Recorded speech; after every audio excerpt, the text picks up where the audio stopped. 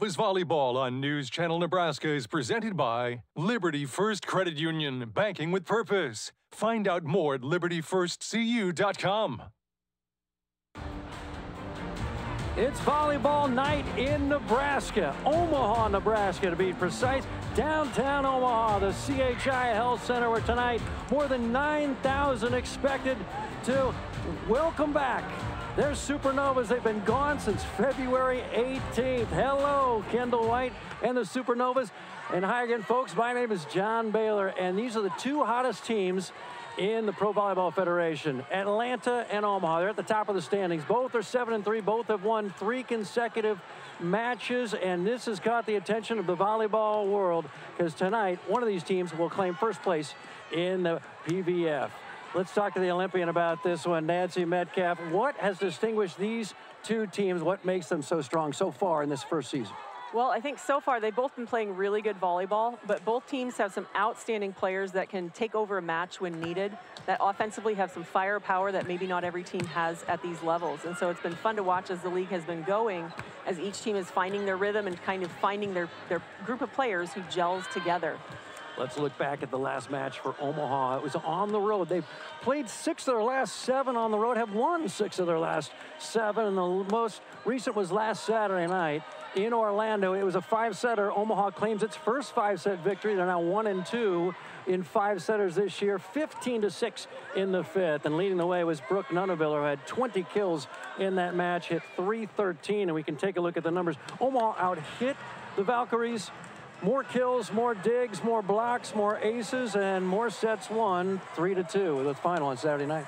Yeah, it was another exciting match, and I think Omaha showed some real grit to fight through the fifth set to have to be able to hang on, and they dominated in the fifth, 15 to 6. So I'm sure their coaching staff was real happy with how they ended up playing the match and just holding through all the way to the end. Now our dig of the match from the Supernovas win against the Orlando Valkyries Saturday night, presented by Roloff Construction. Well, Brooke Nuneviller can do it all. She is a back row attacker, a front row attacker. She played libero in college, and she exhibits those skills right here as Allison Mayfield's attack is blocked back and a pancake beautifully done by Brooke Nuneviller. It was a great play, and I think that just shows the grit and the hustle and the determination of a player like Nuneviller to be ready to make that play. That's a tough play to make, and she had to react so quickly to get under that ball. The ref didn't even think she got it up, but they reviewed it and ended up ruling in Omaha's favor that she did get the ball up. Got it. There will be so much great defense here tonight. Every time you take in a Pro Volleyball Federation match, you just marvel at the defense they can play. Exhibit A right there, and Laura Bird-Kuhn loves that one, the interim head coach for Omaha. Now let's take a look at the electric play of the match from Saturday night Supernova win against Orlando. It's presented by Electrical Contractors. The electric play of the match is match point.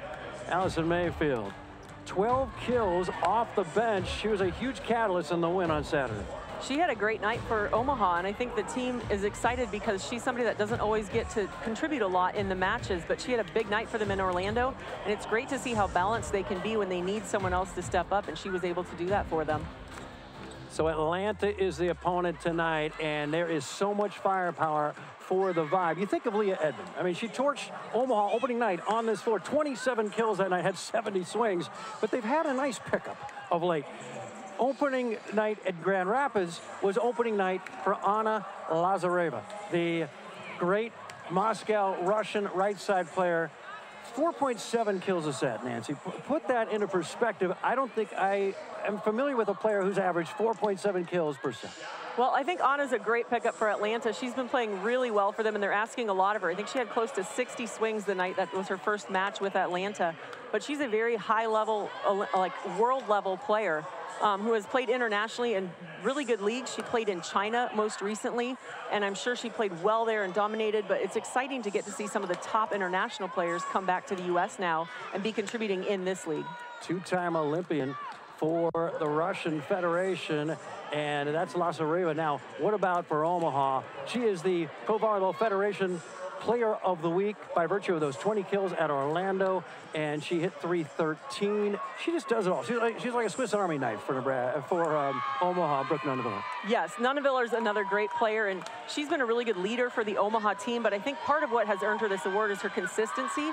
She doesn't have a great match and then a down match the next time out. She is good every time she steps on the court, so it's nice to see her getting recognized for an outstanding week. The top two teams in the league are here tonight. Both are 7 and 3.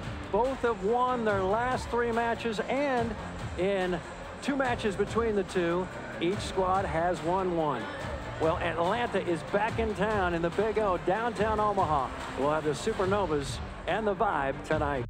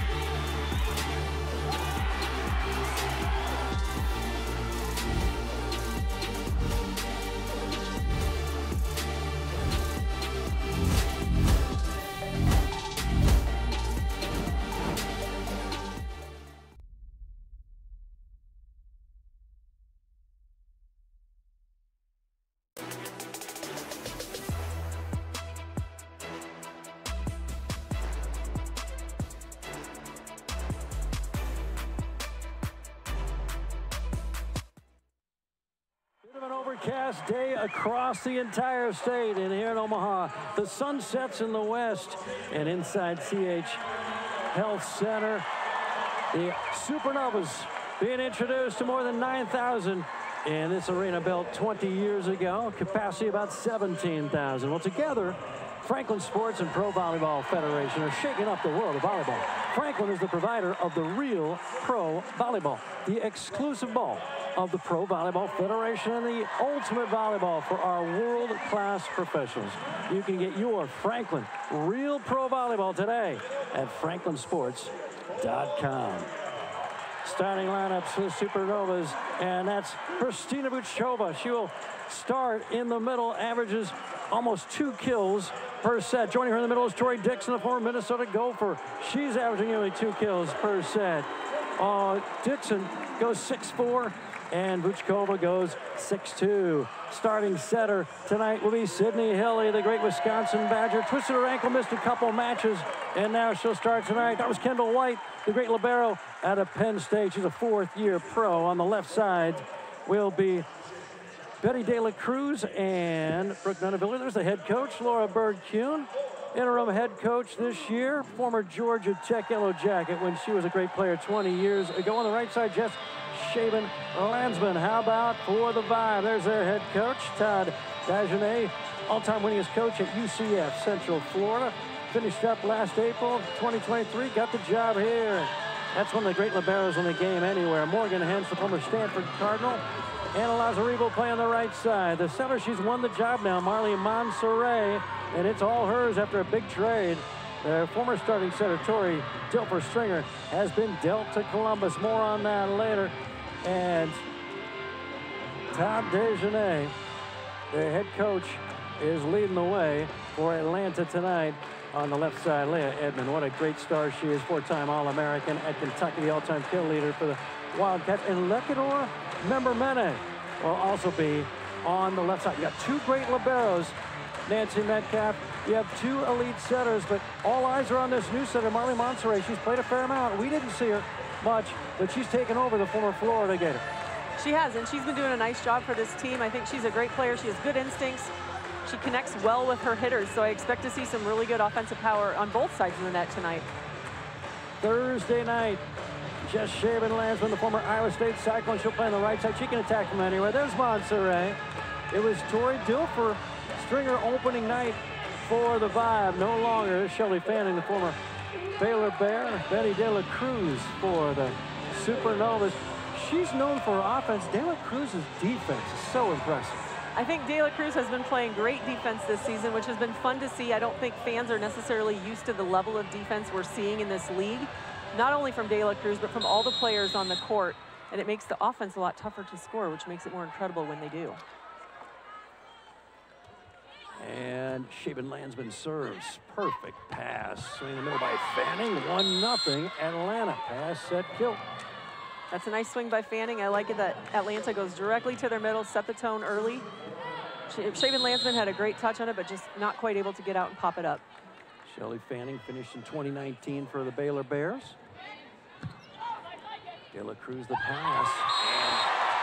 A setter dump for Nati Valentin Anderson. Forget about the pre-match word that Sydney Hilley was starting at center. No, they're going back to Nati Valentin Anderson, one apiece. Yes, and she did that in some of their earlier matches as well. She likes to be active offensively to keep the block remembering her. Good pass by Member Mene. Back row swing, Edmond, not this time. But Miller from the back, no. Member Mene.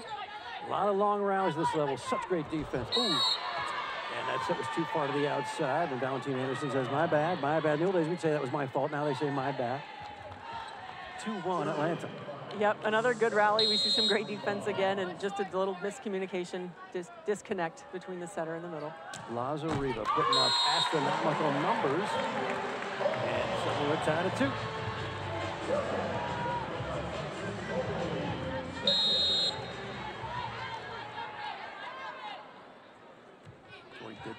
Has been the starter middle all year. Chalice won by Atlanta. What happened there, Nancy? Atlanta just touched the ball second. They always say on joust, the person who touches it second typically wins. Um, and unfortunately, Omaha couldn't pop it up. But Coach Bird actually said she believes Betty is the top server for Omaha, but Tori Dixon is right up there with her. She's a strong server. They're going to get a lot of overpasses because of how hard she's serving.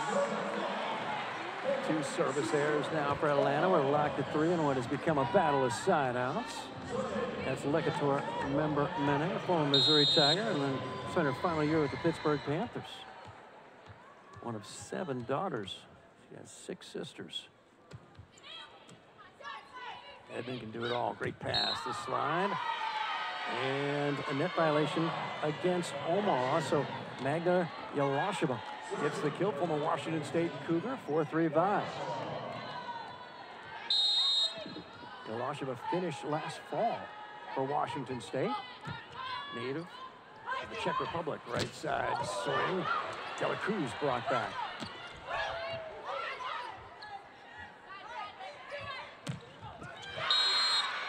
Going to see that a lot. Lazareva, but how about the assist for Ilasheva? A middle coming in there and setting a nice two-hand set. Yes, typically internationally, middles are ready to step in and they can set a really nice ball. Lazareva does such a great job extending and hitting high on those back row attacks. It's tough to get in front of her on the block. Shaven lands, but nearly lands it. No. Chalice and back-to-back held serves for Atlanta. They've doubled up Omaha 6-3. It's a nice play by Atlanta, just seeing where the ball is and finding a way to get it over the net. The last time these two faced each other four matches ago, ultimately Omaha swept that match. Somehow Atlanta's been swept twice this year, but early on in the match, Omaha fell far behind, so they're used to coming back against the Vibe. Yeah, I think any team in this league has enough offensive strength. They can pass well enough to stay in any match. You've always got to be ready to finish. One note that I noticed out of the last match against Atlanta for Omaha, they've outblocked them 9 to 5 and out aced them 7 to 2. So I think serving and blocking again is going to be a huge part of the night for them. Three service errors already for Atlanta. Dela Cruz with the most aces for Omaha, not this time. Edmond tipping, blocked back by Schaben Landsman. Leah Edmond, stop! Just Schaben Landsman. Now, they only award one block tally for every scored block. In the college game, if two players get their hands on it, they each get credited for the block. Yes, that's something for fans that's going to be different when you're watching international or pro volleyball, is that blocking is much more specific. They're watching who actually touches the ball, and there's no such thing as a block assist. Either you blocked it or the person next to you blocked it. And so the stats look a little bit different and you might think they're not blocking as much, but they are actually blocking the same amount. They're just not crediting it twice. Four touches against Atlanta and three straight for Omaha.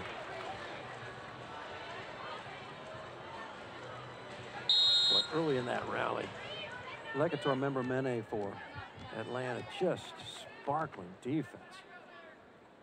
Keeping a rocket dig alive and extending the point. Overpass, shot back, and a kill. For Stevanovichkova, four in a row. And there's another tough serve from Betty De La Cruz. She puts so much heat on the ball when she's serving it. It's great to see the front row ready because a lot of those passes are going to come back over. De La Cruz, 20 service aces for the year. What makes her serve so tough, Nancy? I think it's just her heavy arm. And typically, a jump server like that, if you can go after it and have good control over where you're hitting the ball, you can see a lot of success on it. Roll shot by Leah Edmond. She got her, has her first kill, seven apiece, boy. Remember Mene shows you there, another great pass by her. You want to play, you got to be able to pass the ball.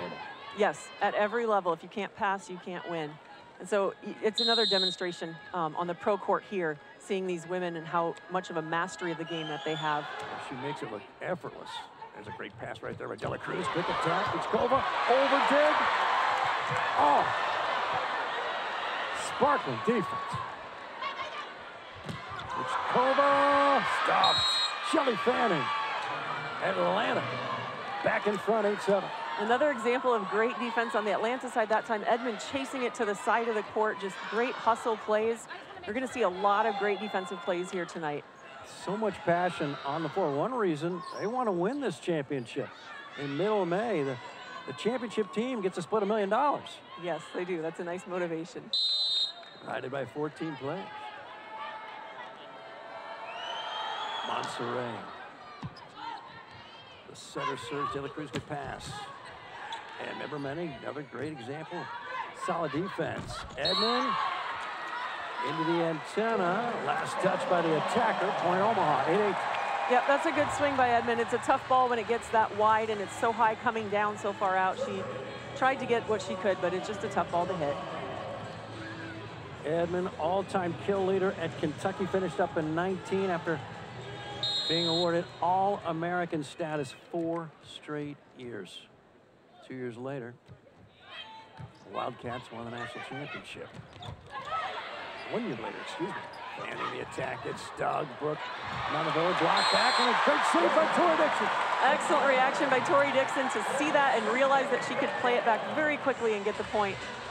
If you can watch in the serve receive, Lazareva is running all the way from left back around the back of the court to go hit on the opposite side. That's not ever seen in college volleyball. It's the first time I've ever mm. seen it. She gets it on the right side. And that's, that's how much they know she's a tough offensive weapon, and they want to get her where she's most effective. And Mene, another great dig. Edmond delivers her second kill. Nine apiece. It's a nice high swing by Edmond. The last time these two teams met up, Laura Bird was really pleased with how their team blocked on Edmond. She felt like they took her out of her rhythm and, and eventually took her out of the match where she couldn't play the way she wanted to, and that was one of the biggest reasons she felt like they won. So Omaha's going to be pushing to try and take her out of that rhythm again tonight. Swept Atlanta four matches ago. Yeah, Edmond struggled that night after a tremendous opening night right here. And there's Todd Dagenais, your former coach, Nancy, years ago. Yes, I got to play for him with some of the national team stuff we did. We go back a long ways. I won't say how many years. Montevillo stopped by Shelly Fanning 10 apiece.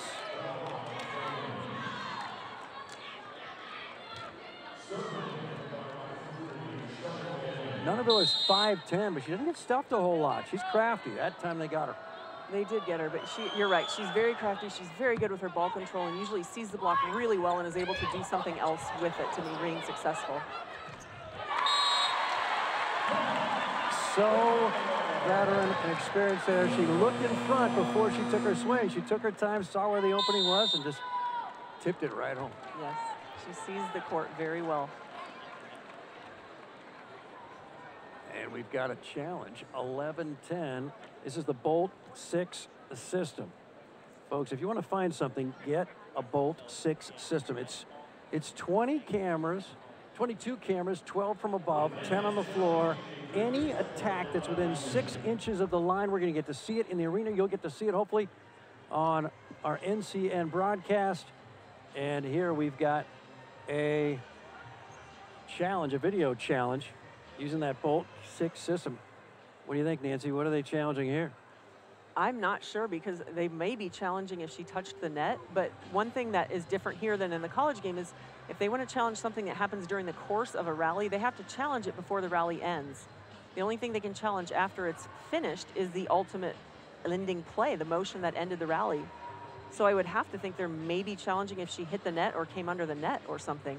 Meanwhile, right now they're reviewing this video in Frisco, Texas. There's a command center there. Yes. Lots of, lots of video screens. I mean, it's, it's, it's like NASA. Yes, and they uh, do all the live review of everything there, and they send the results back. Frisco, Texas is the home of the Scooters Coffee Frisco Bowl. Nice. For football, yes. The bowl game. College yes, football, college bowl, football game. bowl game. Gotcha. Yes. So we have a little connection there. Scooters is an Omaha company, a local Nebraska company. Sponsoring the bowl game out of Frisco, which is where the command center is for the Pro Volleyball uh, Federation. Meanwhile, the chair official, usually these reviews take a lot less time. They average less than 45 seconds, so something's up. Yeah, they are so quick with this reviews, and part of that is because they have such a dedicated command center taking care of these every time they have a challenge. They are trying to keep the pace of the match moving, keep the rhythm going. They don't want to stop the match like sometimes in college, they stop for minutes and minutes and minutes. They don't want that. That's the number one official. He's not calling home. He's, he's talking to the folks in Frisco right now. And the question is whether Brooke Nuneviller on the follow through touched the net. And apparently the answer is no. So another difference in the pro matches, you're going to see the head referee, the top referee, on the same side as the benches. That is to put him closer to the head coaches, but that also means the head coaches are allowed to have short interactions with the head referee to question what they were calling or why they made a call they did. As you saw Todd Dagenais come up there and ask the referee for some clarification on what just happened. Miscommunication and a block for Atlanta. Magda Yalasheva with her second block, 11 apiece.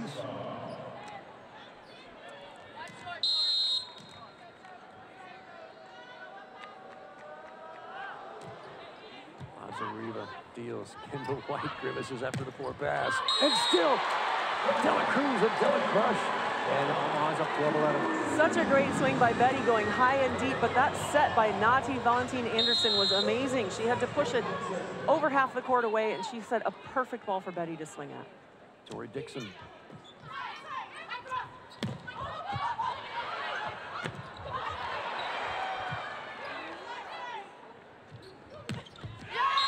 Yalasheva got a couple blocks and now a kill, tied at 12.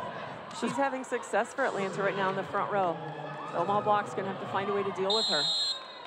These two teams have pulled away. Columbus and Grand Rapids are four and four in the standings. These two, seven and three apiece. And another block. Leah Edmond. Yalasheva helped her. 13 to 12 now, Atlanta. And Edmond got so far over the net there. We'd like to see Vuchkova turn that ball, either turn her off the line or cut it even sharper, but Edmond is pushing over onto the Omaha side of the net. That's a great block for him. Five service errors already for Atlanta. Remember Mene with two of them. She is not happy. No, it's such a fine line because they know if they serve too easy, Omaha's just going to have a heyday with the free, easy passing balls. Um, so they're trying to serve tough, but it's such a fine line between too many errors and not serving too easy. And Nati Valentine Anderson returns the favor. Sometimes it can be contagious. It can be. serving errors can catch on. Here's Magda Yalasheva, Czech Republic. That might have been a little long. Beautiful. That was a nice set by Nati. Again, a real quick set behind her. And Vuchkova does such a nice job getting up with a quick arm and a snap of her wrist. That ball bounced just past the 10-foot line. Kristina Vuchkova joined the Supernovas after finishing up in China. She arrived about three weeks into the season.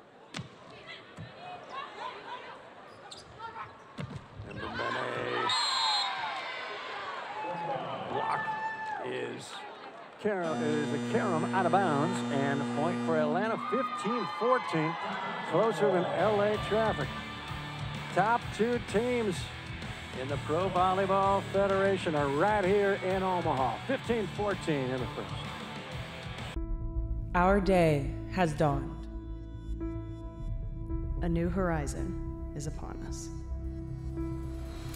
Inspired by the many who came before us, together on a path to achieve something extraordinary.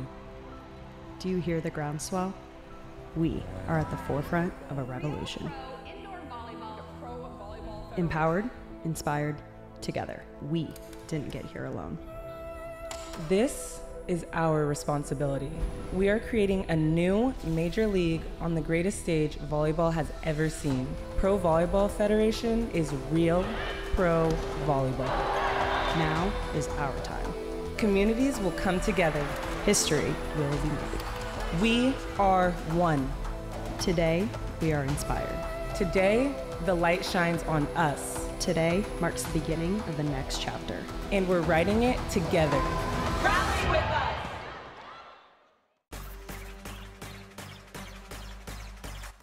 These two elite squads in the Pro Volleyball Federation, both are seven and three. Opening night, remember that? That was so fun. Thursday night, January 24th, and, and uh, in that match, Ali Linehan, not playing tonight, got the first kill in the league's history. Three deuce games were won that night by Atlanta. They win the match in five. Then four matches ago, about a month ago, and, uh, Omaha sweeps Atlanta, and here we go, neck and neck. Yes, they're, they're so evenly matched, and they both have outstanding foreign players who are coming in and just bringing the level of the volleyball up. So it's just so fun to watch. Here's Monserrat, former Gator, former UCLA Bruin.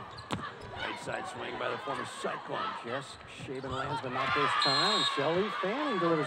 Atlanta's going to the middles a lot, even in transition. They are, and I think they're using them more than I expected them to. Knowing how much they use Lazareva, I thought they'd be going to her more. I would tend to think that they're trying to establish the middle first so that when they go to her later, when they need the points, the, the team won't be expecting it quite as much. But the middles have been really successful, so I don't think they need to go away from it. Nuneviller to the donut. It lands. Back to a one-point contest in the first. Again, such a smart shot by Nuneviller, seeing that center of the court is open and just knowing that it's there. She's such a seasoned player. Edmond digs into pass. No, it's Member-Meneh. Gosh, she's solid at that. And Lazareva over Doug. And Leah Edmond gets her third kill, 17-15 at Atlanta. That's a nice reaction by Edmond. It's a great dig by Omaha, but the ball's coming back over, and Edmond just skied up there to go after that ball and control it inbounds, which was great to see. Grew up in Lexington, Kentucky, played for the hometown Wildcats. She's in the conversation for league MVP to date. Averages 4.3 kills a set. None of Nuneviller, she's the week's league player of the week. 20 kills Saturday, looking for one there, no. Member-Meneh, count it. 18-15 Atlanta. That's another great swing by Member-Meneh. She's so fun to watch. She's a shorter player compared to some of the other players on the court, but she jumps so high and she's so explosive. All short players rooting for Lekator Member Mene. 5-7. Played for Missouri for four years, one year for Pittsburgh, got him to the Final Four. Had a little help, but he was part of it, that's for sure.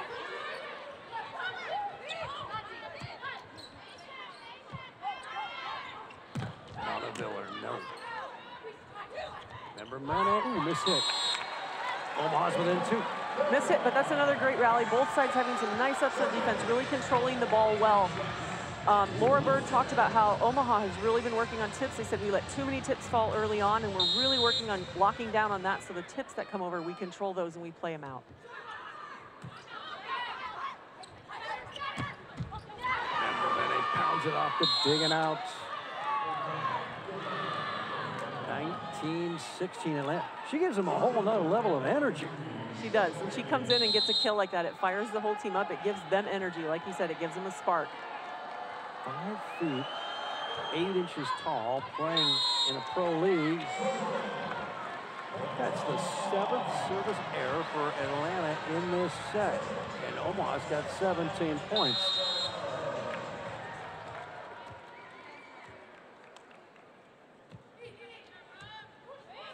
Nice pass.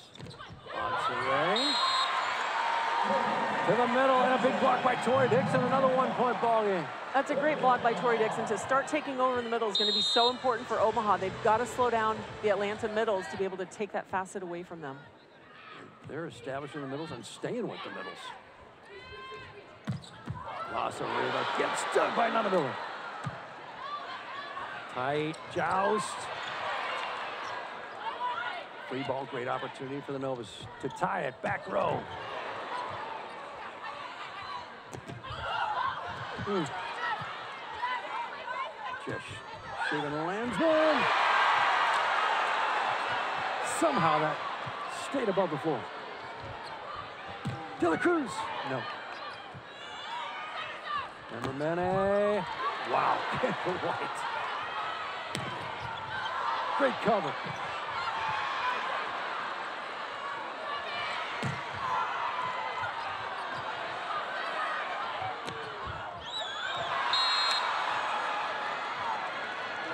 Another incredible rally. You see so many good defensive plays. It's just amazing to watch. Both players, not just the libero, but all the players on both teams have really made some nice defensive plays to keep rallies going. Leah Edmond for Atlanta overhead diving for a ball, falling back. I mean, it's incredible. There's such great defense at this level. And there's supposed to be 15 seconds between the end of a rally and the next serve, but Morgan Hentz says, bring a towel out, bring a towel out. Both teams were gassed. Yes, they want to keep the pace going like we were talking about earlier, so they're trying to limit the time between serves, but as a player, sometimes after a rally like that, you need a minute, so you find a spot on the floor and tell them it's wet. There's Lazareva, and she's got an ace. First one for Atlanta tonight. Perfectly timed, 21-18 vibe. Timeout Omaha. Atlanta 21, Omaha 18. We're in the first set. Thursday night volleyball here in the Big O, downtown Omaha. Pro Volleyball Federation is proud to share its first national non-profit partner, Girl Talk. Girl Talk inspires all girls to be confident leaders through peer-to-peer mentoring. Pro Volleyball is proud to work with Girl Talk to add to their nearly 100 clubs across the nation and continue to help all girls define their leadership skills. Any girl interested in starting or joining a Girl Talk club can visit mygirltalk.org. Mygirltalk.org. Volleyball, an exploding sport. More girls play volleyball than any other team sport. It's very popular, and it's grown in popularity so much over the last, I don't know, decade, 15 years. It's so fun to see the interest in younger ages that people are wanting to play volleyball, girls are wanting to become involved in it, and that leads to opportunities like this where when they then become older and there are women who can join a professional team. So many families out here tonight. It's great to see. Everyone's smiling. It is. They've got a great family atmosphere here. They are able to get some club teams to come in and be involved, some school teams. It's fun to see. It's good to have the Novas back in town. They were gone for nearly a month. The Nomads have returned.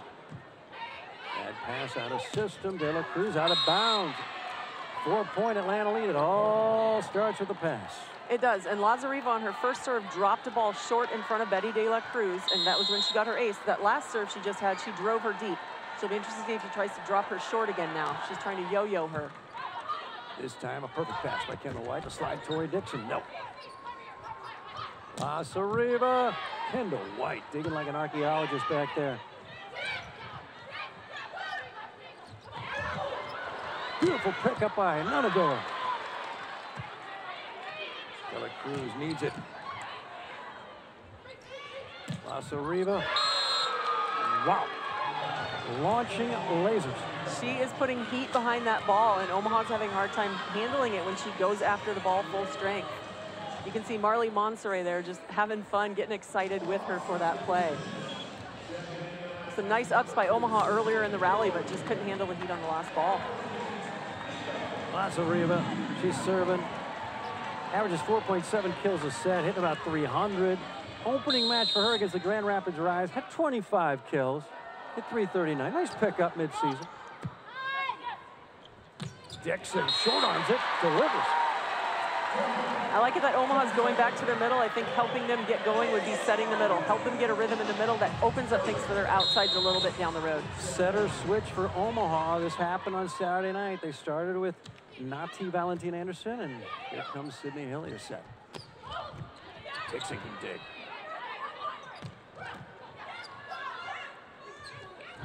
Member-Meneh out and missed everybody. Maybe. I think we're going to have a review here. That's what that buzzer's all about. When you played abroad, did they have buzzers when they're making challenges? This is They a, this didn't is have a- anything this technologically No. advanced when I was playing. So so in this system, and this is something for fans to know too, coaches can't look at a referee and say, I want a timeout. They have a tablet by their bench. If they want a timeout or a substitution Hit or a challenge, for example, there's a button on the tablet they have to push. It has to be within a seven seconds of the rally ending to challenge it. Um, the substitutions have to be entered on the tablet, which number is coming in for which number is leaving.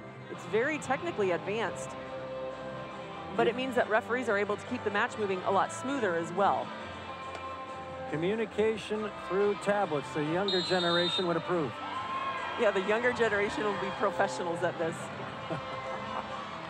That uh, looks like a touch or or not. Let's, yep, point Atlanta 24-19. It hits Christina Vuchkova's fingertip. Yeah, Reed sneaks in there and sinks a kill. It's a great swing by Nia Reed. Coming in off the bench, sometimes it's hard to get warmed up and into the rhythm of the game quickly, but she, I felt like she did a really nice play on that ball because her tempo wasn't quite there, her rhythm wasn't quite right. She made a really nice shot, half speed, found an opening. Former Penn State great. It's her 10th kill of the year, has not played a lot. And we're done in the first as a kill for Magda Jehlarova. Gives the Vibe a surprisingly large margin in this first set. They pulled away midway and were very much in control, 25 to 20. And the Vibe had 16 kills, only nine for Omaha. Both teams with four blocks and reception. Omaha did a nice job on side outs, but it was not enough. All Atlanta in the first. CHI Health Center in Omaha. Come back for set two.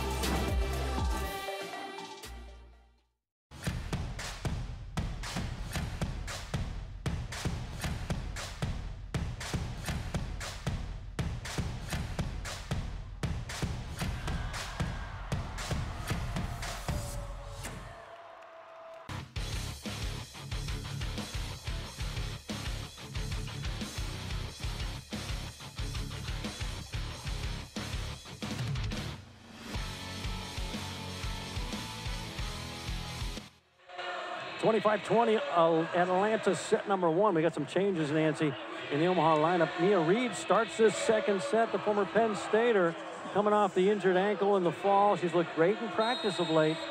And then the setter, Sydney Hilley, will start the second set. Yeah, I think Omaha's just trying to do something to change up the rhythm of the match, go with a different setter. Sometimes that changes the tempo a little bit or the connection with hitters.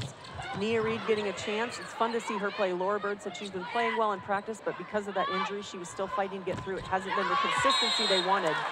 So it'll be fun to see how she can do now that she's got her opportunity. There's Nia Reed. Vuchkova gets the first point of the second set.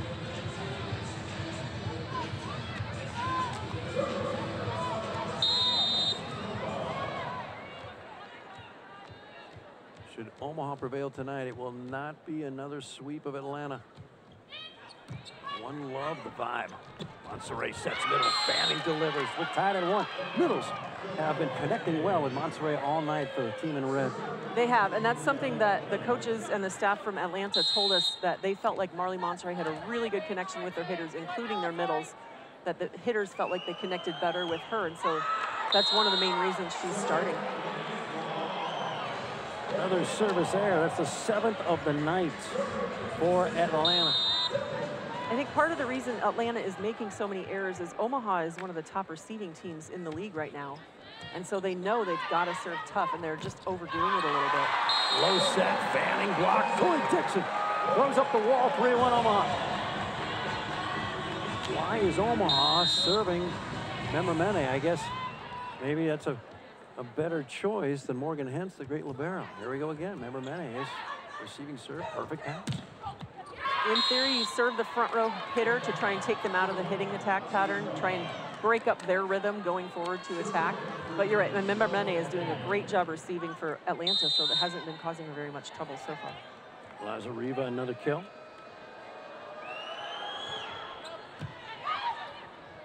Dixon the slide. Bring it up by Fanning. Boy, Middles can do it all at this level. Remember, it's her second missed hit of the night.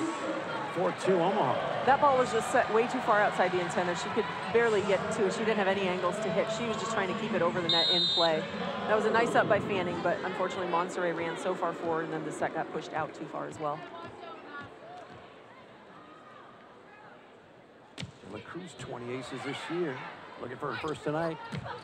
Edmond, wow. Just long. I think we're about to go to the video too. Just long. So far, they're not calling for a challenge, but Betty De La Cruz starting it off again with some heat on her serve. There you can see the replay from the system. It's out by inches. It's really close. 5-2 Omaha. Set two, down one love. Lazareva out of bounds. 6-2. That's an unusual hitting error for Lazareva. She doesn't do that very often. But I think Omaha's block was set up very well in front of her. And most of the time tonight when she's been hitting, she's seen a seam in the block. So maybe she's thinking I have to do something different because the block is here waiting. Hitting 308. That means you're right, Nancy. She makes few errors. Tanya De La Cruz. Ace! First tonight, 21st of the season. The league leader in aces, and you can see why. She has such good control of the ball with her hand, and that's another thing Coach Bird was talking about. Not only does she have a heavy arm where she's hitting it hard, she can control the ball really well. So sometimes she'll turn her thumb down, or you call it wrist away. Sometimes she'll turn her pinky down. But that turns which way the ball is going when it gets to the passers. Lazareva out of bounds. She's got two attackers in this set. It's all Omaha thus far in the second. 8-2. After dropping the first, and Betty Dela Cruz will be standing on the service line when we come right back. Her husband, her son from the Dominican Republic arrived this week to be with her, and she's playing well, trying to get this match tied at one set apiece from Omaha. Fans are so excited. She decided to join Atlanta Vibe. 10th year as a pro, signed in July, activated February 14.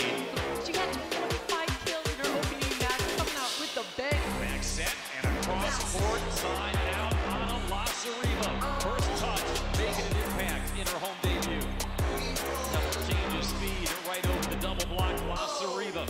Anna Lazareva's making some fans fast in her home debut.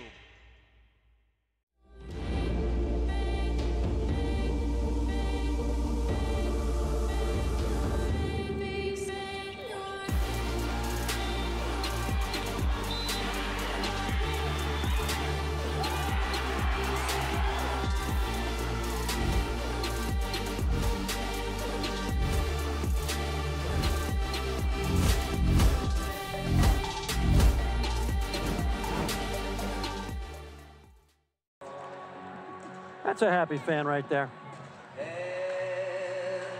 Happy mom. Happy Omaha Supernova fans. 8 to 2 Omaha in the second set after dropping the first by five. Yes, pleased with how they came out, started the second set ready to go. They made some great plays to start off. Lazareva had some unusual errors for her. Leads to an Omaha advantage going in. Eddie De La Cruz not happy despite having an ace in that sequence. 8-3.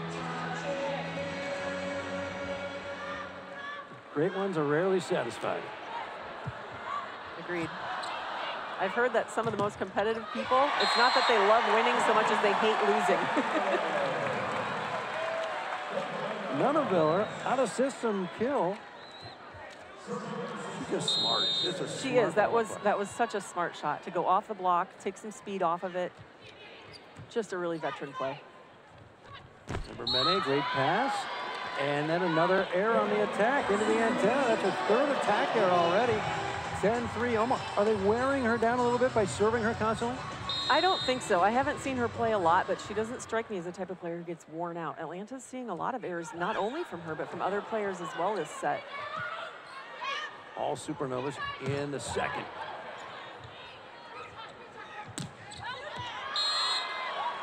Lazareva, her third attacker, and this set alone. That's what happens when we promote you pregame. We jinx you a little bit. 11-3. Apparently we did jinx her, but uh, so many uncharacteristic errors for Atlanta.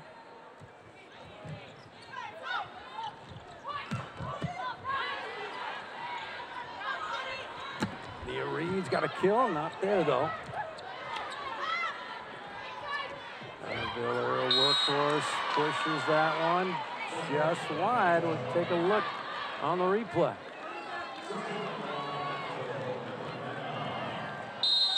Yep.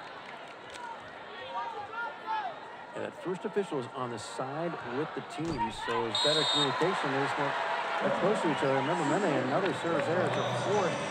The team's eight. 11-4 in the second. It's tough to win when you have that many service errors. I know Coach Dagenais is not going to be pleased with how many errors Atlanta's having from the service line around. They have to give themselves a chance to score these points.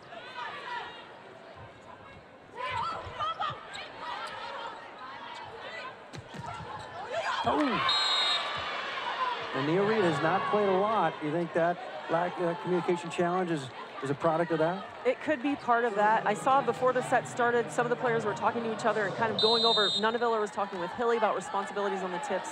I think on that ball, Reed just wasn't ready to cover the ball because that wasn't a difficult ball, and that's hard to let points like that go, knowing there are going to be hard-driven balls that you just can't dig up sometimes. Atlanta expected the local, missed the express. Brooke Nuneviller, reigning player of the week in the league. Showing her own firepower, going cross court sharp.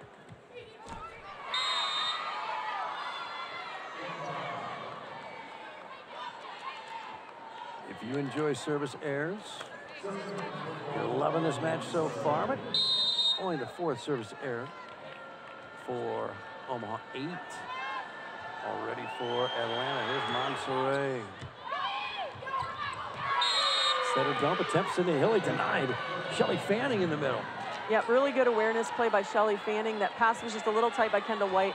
Hilley, I think, had to dump it, but I think she could have picked a better option of dumping, gone behind her, tipped back over her shoulder instead of forward into where the block was waiting. Marlie Monserrat, that's service air number nine, 14-7. Now, Monserrat is one of many players in this league that has had beach experience. She played four years for Florida, then finished with two years outdoors for UCLA. I don't think that's any coincidence. No, I think a lot of the shots you see and a lot of the ball control you see is developed in the beach game. And that's something that because the NCAA started having a beach season in the spring, more players are developing those plays and the ability to do those things. De La Cruz give the assist to Nuneviller. 15-7 Omaha. Again, great communication. Nuneviller called for the ball and Hilley was going. She would have had it, but she heard Nuneviller and backed off and let her take it. And a great set. Great ball control by Nuneviller, too. Good swing by Betty. They're not booing. That's Cruz. Morgan Hentz, a rare chance for her to show her passing skills. Yeah, if I'm Atlanta, I'm excited if they're going to serve Morgan Hentz because she is such a solid passer as well as a defensive player. That would be my last option if I'm Omaha trying to figure out who to serve. There's another great libero, Kendall White. Two of the best in the business at that position ever. We do, and we do, and it's so fun to watch the level of defense be brought up so much by both of them. Hentz hasn't had much of a chance. Omaha's attacking away from her, serving away from her. Leah Edmonds. In. 15-9, the gap is just six.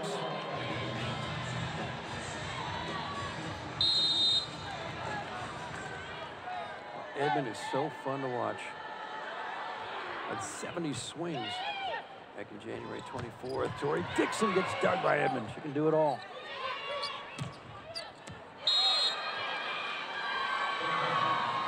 That's a nice deep shot by Lazareva. That's just a play Omaha has to make.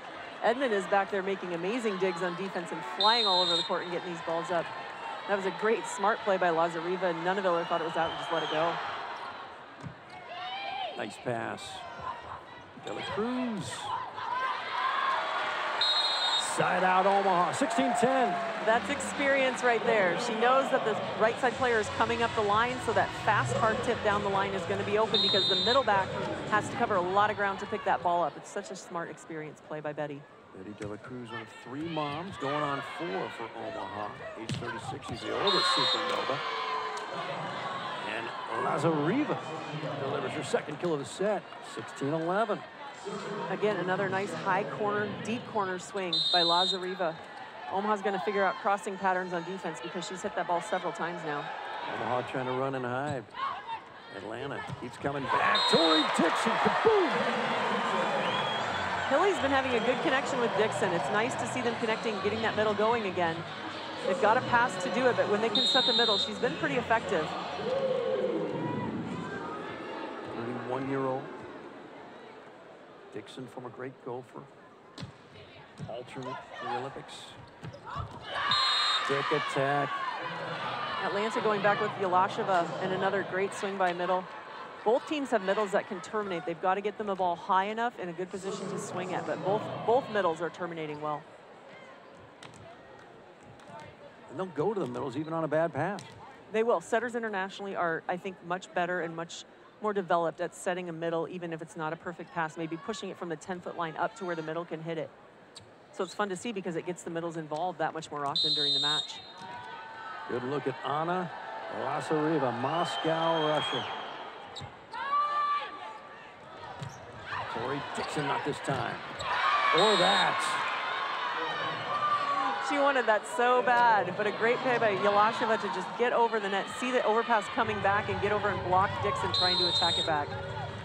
Jehlarova had seven blocks in her last match. Just a four-point Omaha lead. Nia Reed gets one to make it five. Great swing by Nia Reed, tooling it off the block, out of bounds. Nobody can cover that. Going out over the antenna. Nia Reed's an interesting story. I, I think if she were to play now, she would not have stayed at Penn State. Now, in the era of the portal, she didn't get a chance really until her junior year at Penn State, then became a star. These days, you don't get to play early, you're usually looking for greener pastures. Kova with a kill. Back-to-back -back Omaha rallies. Vuchkova and honestly both medals, they do a great job of getting up and being available. In, in rallies, they are back up, ready to attack, so their setters know, they have confidence that middle's gonna be there. I can set them no matter what the dig looks like. Timeout, Atlanta. Omaha by six late in the second, but trailing one set to love. Well, if you're anywhere near Omaha this Saturday night, come on over to the CHI Health Center. It's Luck of the Novas night. The Omaha Supernovas next home match will be this Saturday, 6 p.m. 6 p.m. against the Orlando Valkyries. To celebrate St. Patrick's Day, it's themed as Luck of the Novas night. So make sure to wear your green. Limited time Luck of the Novas gear can be found at Lawler's, both in-store and online. So head to Lawler's in-store and online to wear your green. We got to remember to wear green on Saturday night, Nancy. Yes, we do. My kids are super excited. We're not even Irish, but they're super excited about St. Patrick's Day. We got some pink here tonight, though. One of the official colors of the Supernovas. I, love it. I think that's very brave. It is a brave choice. Yes. I could not pull it off. I realize that about myself.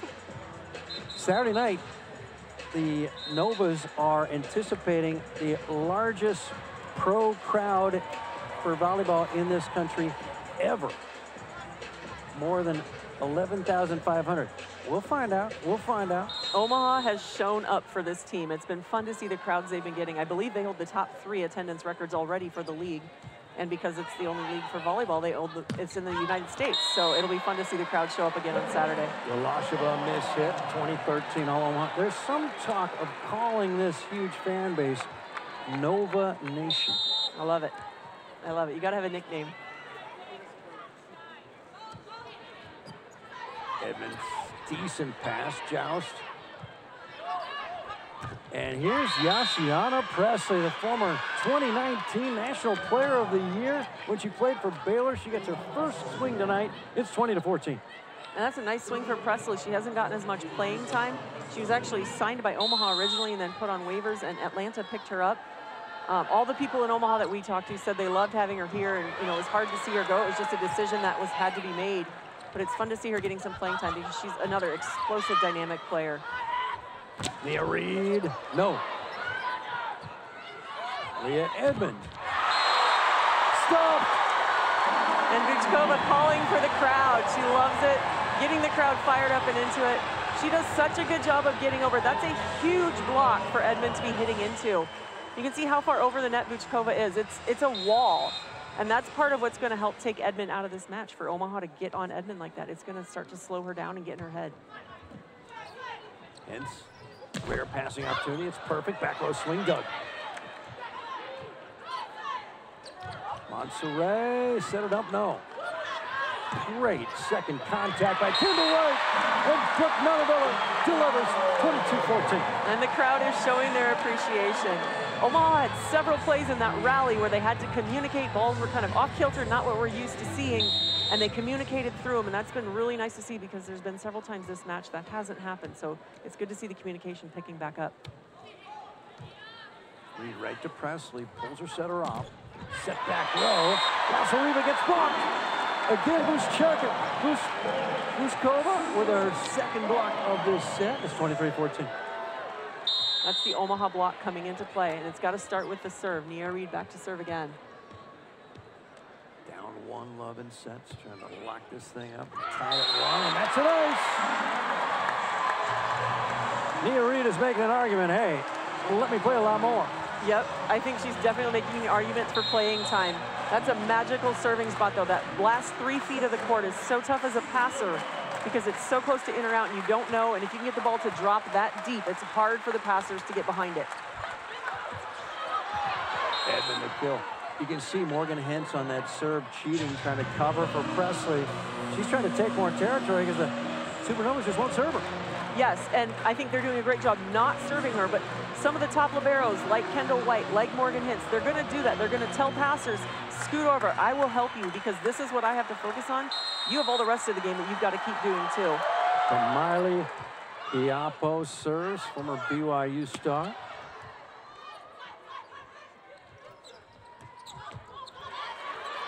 Here Reed. Great dig, and now Nigel. Good turn in the second. Tied and six. And Atlanta takes the first by five. Omaha the second by 10. Special guest, former Husker and Supernova, Gina Mancuso. Brosowski. When we come right back, we're tied at one. We're going at least four tonight from downtown Omaha.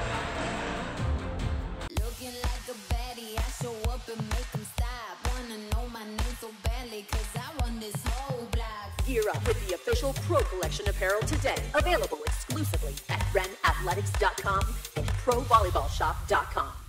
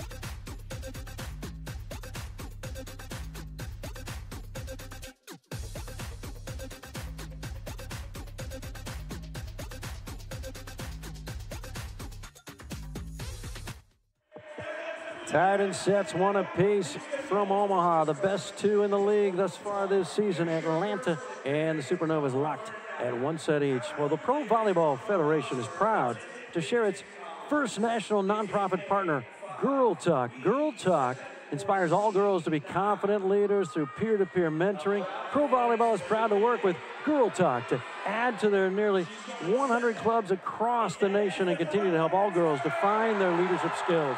Any girl interested in starting or joining a Girl Talk club can visit mygirltalk.org. Let's bring in former Husker heroine 2012, her final season, Gina Mancuso Prosowski. Great to see you. good to nice see to you see you. This Nancy Metcalf, the Olympian. Uh, you got everybody's identity now.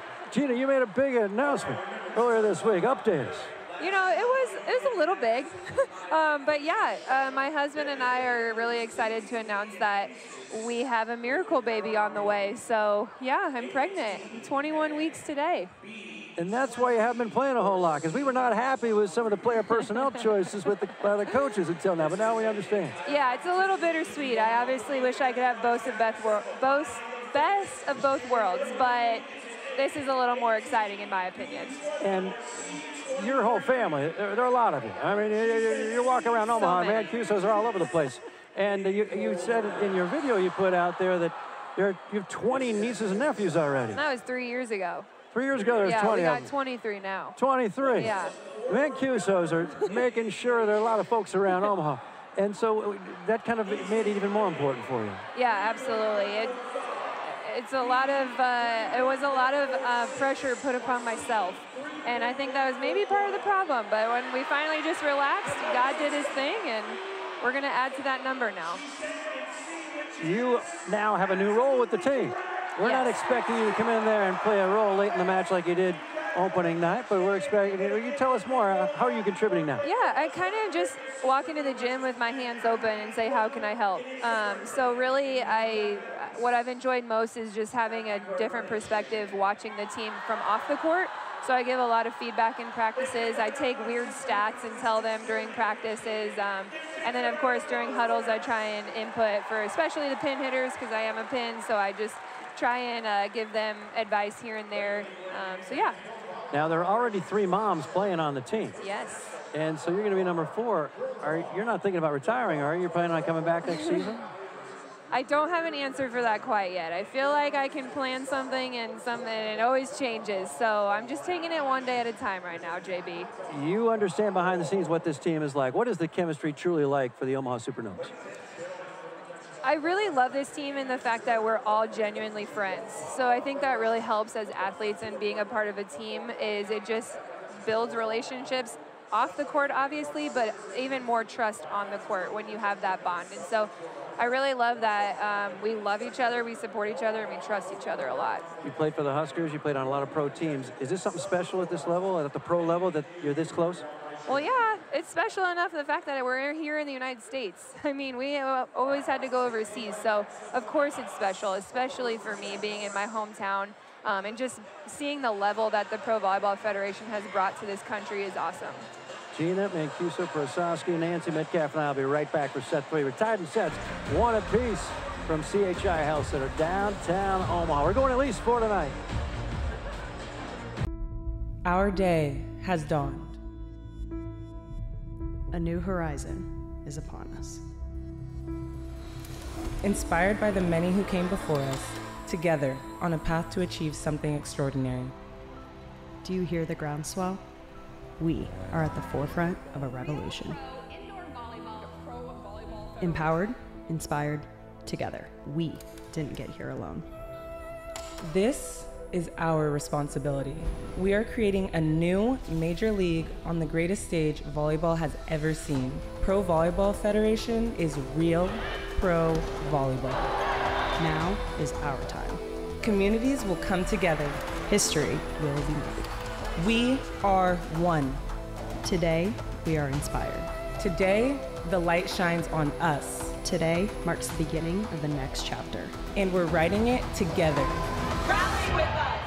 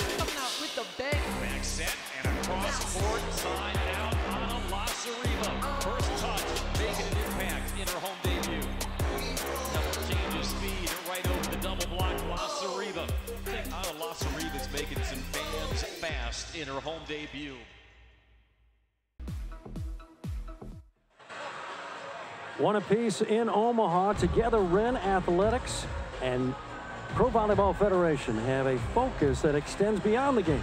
We're growing the sport of volleyball, building community around the sport, and empowering our world-class female athletes with top-tier resources.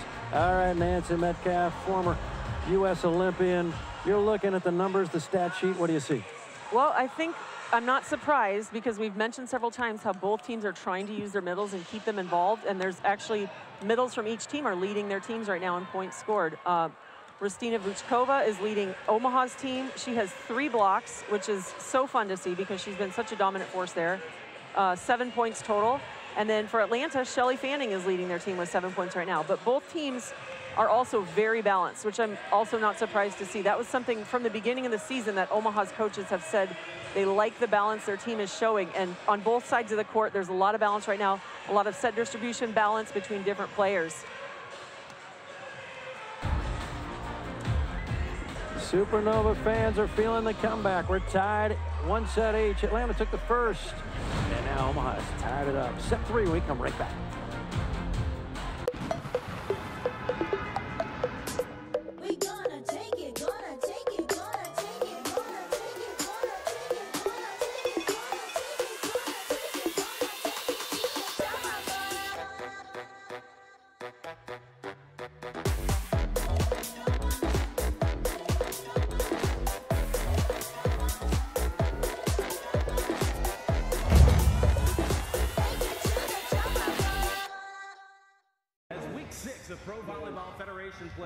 Continues again, and tonight's main event is Pro Volleyball. This is pro volleyball right here. A power swing. Thomas Ilara. Jose,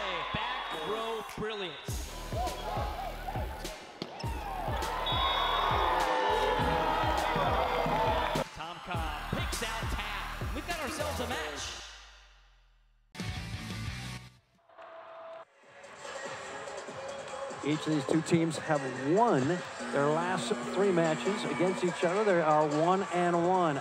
A lot in the balance here tonight. More than 9,000 we anticipate will be the ultimate number in attendance in the 17,000 plus capacity CHI Health Center.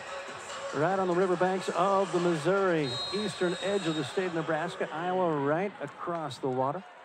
And Brooke Nuneviller, she has done it all, gotten the most attack attempts for Omaha. Begins his third set. Lazareva, no. Leah Reed starts her second set tonight off the bench.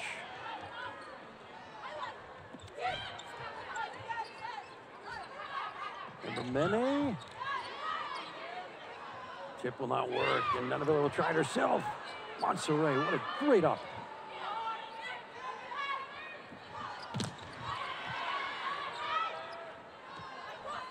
up. Dela Cruz.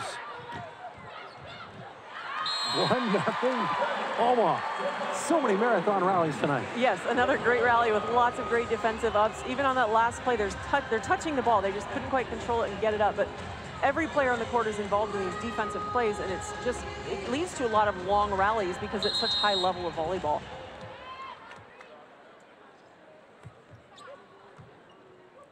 Morgan Hentz the target. Perfect pass, and Shelley Fanning delivers in the middle. What do you think's going on with the strategy for Omaha thus far? As they're suddenly starting to serve Morgan Hentz, the great libero for Atlanta. I don't think that's on purpose. I'd like to say they're trying to serve a seam between her because I don't think you serve a, a libero that good on purpose. Um, and I think they're going to need to stay away from her if they want to continue to have success. One apiece now out of bounds from Kristina Vuchkova. Rare miss hit for the Bulgarian. And Omaha down two to one here in the third.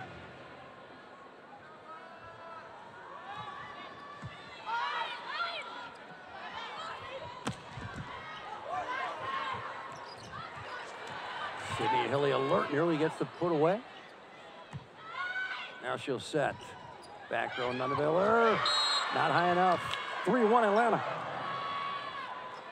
I think Atlanta's made some nice adjustments right now on their block and on their defense. Earlier, Betty tried to go down the line with that long tip again, but Atlanta's middle back is ready for that now, and they're covering that ball. So Omaha will have to readjust what they're doing based on what Atlanta has already changed. Each team gets eight subs per set. That's it. That's why they have to keep playing. You don't see nearly as many substitutions each set as you do in the college game. Dela Cruz delivers. Sneaks that one through somehow, and it just dies right in front of the back row defense. But another great rally. She hits the ball off the block to keep the rally going, and someone covers her. They get to play it again. It's called recycling the ball. It gives her another shot at it. Hitting just 178 for the year, but she gets so many out-of-system swings. She's under duress so often when called upon attack. Great up by Nuneviller. Lashava, not this time.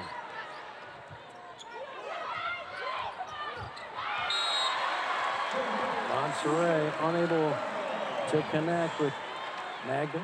Lashava. And it's 3-3 suddenly in the third. And that ball was just too tight to net. Monserrat just doing everything she can. I think the ball would have gone over if she would have let it go. She was just doing everything she could to try and get a set, and unfortunately the timing was off for their middle. Betty Dela Cruz, no. Net violation, I believe, against Dela Cruz. She's incredulous. It's 4-3 Atlanta set three. Not happy about that call. I think she might have hit the antenna going up and over because it looked from our angle like the antenna was jumping.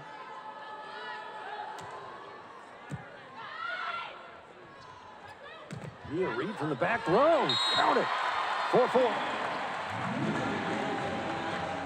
Sydney Hilley trying to keep Nia Reed involved as well, giving her a chance to show what she can do, keeping her a part of the offense to keep the focus of the block split.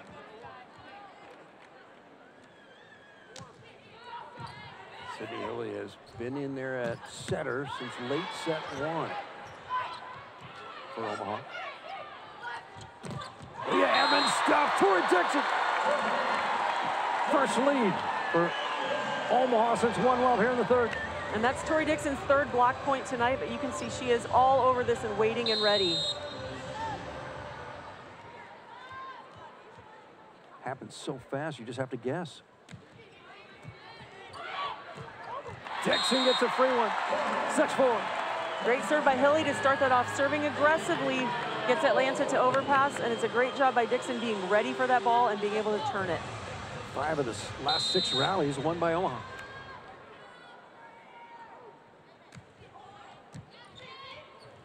Monserrat to the back row and a kill. Lazareva. And Lazareva is getting it set way in front of the 10-foot line because she's such a good jumper. She's taking off and going to the ball where it becomes almost like an off-the-net front court attack. Anna Lazareva is a weapon anywhere. You can set her in the concourse. Oh, just long. I like to remember Mene. Five service errors tonight. So close, and I actually thought from Kendall White's reaction that she thought it was in and was hoping they were going to call it out. It was that close. Dela Cruz has an ace tonight.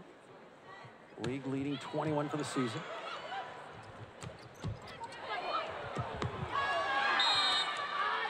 And a kill for Magda Jehlarova.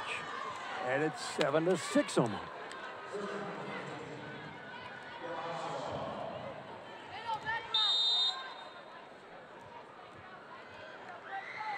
No libero in this rotation.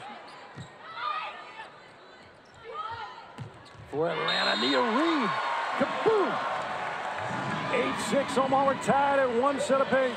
And that's a great swing for Reed, knowing the libero's out. I don't know if she did it on purpose, but a lot of times teams will attack the left back when the libero's out because they realize the stronger defensive player isn't there at that point.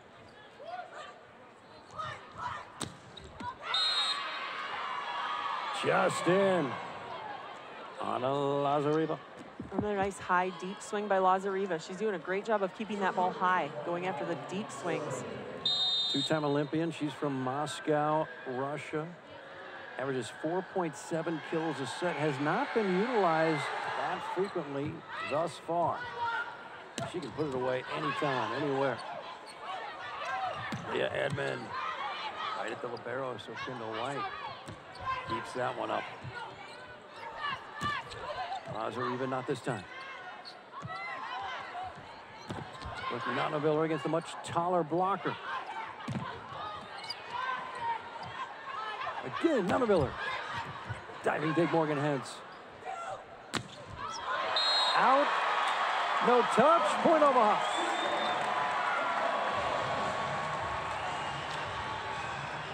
It's Lazareva trying to go high and deep again. She just goes too high over the block. I think sometimes with a shorter blocker like Brooke Nuneviller, they're expecting the hands to come up higher than they do. So a ball that might be touched by a bigger blocker is just an out-of-bounds ball at that point. Nia Reed came in late set one, has never left. Had some impressive practice of late. Wow. Edmond got on that ball so quickly. She stepped, we called it the step closes, that last quick step of your approach. She step closed so fast and just snapped it down inside the block. That's a really fast attack. It's hard to adjust to that on the block. That's geometry. Tough to keep that one off the floor. Yeah, they're tough angles when they hit it that far sharp. Nuneviller, what a vertical. Three ball back, great chance for Omaha. Up one for the moment. Nuneviller, no. Edmond ties this thing at nine apiece in the third. We're tied at one set each. I like it how aggressive Edmond has been staying. She's gotten blocked several times, but she's going up and swinging at those balls when she has a ball that she can hit hard. She's done a good job staying aggressive. Omaha's block was there. They've just got to press over. Grew up in Lexington, Kentucky. So much talent in that area. In the sport of volleyball. Lazareva, no. Mia Reed. Remember Mene to break the tie. Blocked. Point Omaha.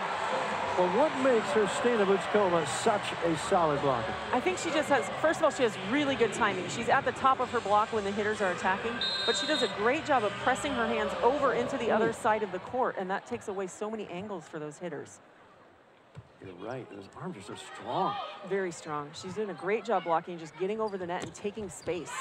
And Lazareva had to attack over her and still get it in. 10-10. She did. That was just a high snap. Lazareva took a lot of heat off of that ball, but it was well placed. It's such a smart shot. You can see her thinking about that Vuchkova block, and so avoiding it, still kept it in.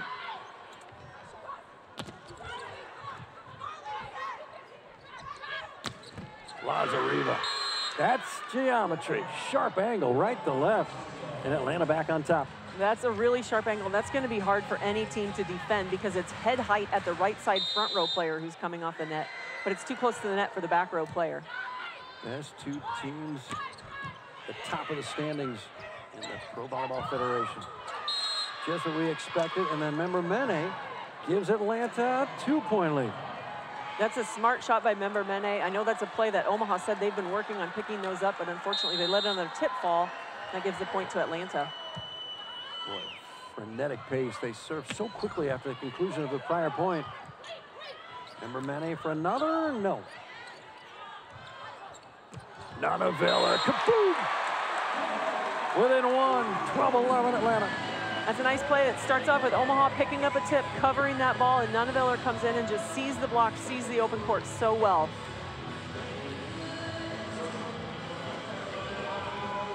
Do you miss it, Nancy, a little bit? Looks like they're having a lot of fun out there. I do. I do miss it. It is so much fun, and just being part of a team that's all working together is such a unique feeling, and I miss that. Uh, but I wouldn't trade my life for anything right now. I love my kids, and I love what I get to do every day with them. Leah Edmond bangs it off the block and down.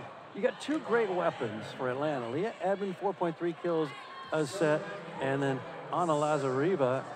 Defensively, it's just so tough to stop when you have two premier attackers. It is because they're on opposite sides of the net half the time during the match, and so you've got to decide as a middle blocker a lot of times if they're in system and going fast, you've got to pick one. Tori Dixon on the slide. 14 to 12. Omaha we're tied in sets, one apiece. Sydney Hilley, 2021 national champion for Wisconsin. Kelly Sheffield's first title. As the head coach of the Badgers, back row swing, Lazareva, great up by Kendall White. Nuneviller, not this time. There's Morgan Hentz, three-time national champion at Stanford. Lazareva. Omaha just does not have an answer, and you get the sense, like a fine wine, she's improving with time right now. She is. I think her rhythm is getting better, her connection, but she's been playing so well all match, and she says, I think she does such a great job of seeing the block. That time she hit it high off the hands of the block. And again, that's a ball that's almost impossible to defend because it goes so deep with a touch that you can't control. Attack and kill from Mia Reed. But she's been a catalyst off the bench. 14-13 Atlanta. She has. Mia Reed's having a great match for mm. Omaha. She's been able to make a difference coming in and changing things around and just giving them another facet to their game. She's done a great job with the opportunity she's gotten tonight. Now, when you go diagonal, you have so much more real estate to keep it in. Ooh, Dela Cruz. Service air, 15-13 vibe. They played four matches ago in Duluth, Georgia. Three love Omaha. It's one apiece here tonight. 15-13 in the third at Atlanta. In front of more than 9,000 plus. Come back for more set three. Our day has dawned. A new horizon is upon us. Inspired by the many who came before us, together on a path to achieve something extraordinary. Do you hear the groundswell? We are at the forefront of a revolution. Empowered, inspired, together. We didn't get here alone. This is our responsibility. We are creating a new major league on the greatest stage volleyball has ever seen. Pro Volleyball Federation is real pro volleyball. Now is our time. Communities will come together. History will be made. We are one. Today, we are inspired. Today, the light shines on us. Today marks the beginning of the next chapter. And we're writing it together. Rally with us.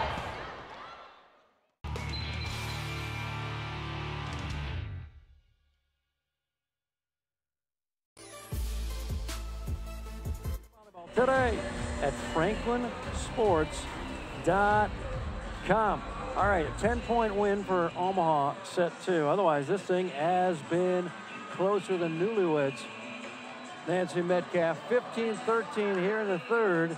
As uh, it's just strength against strength. What what can differentiate Omaha right now? What needs to happen for Omaha to suddenly reclaim that lead?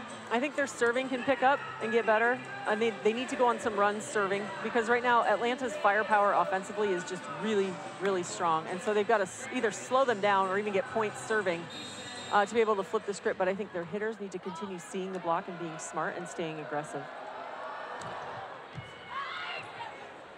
De La Cruz the pass, a collision there. Okay.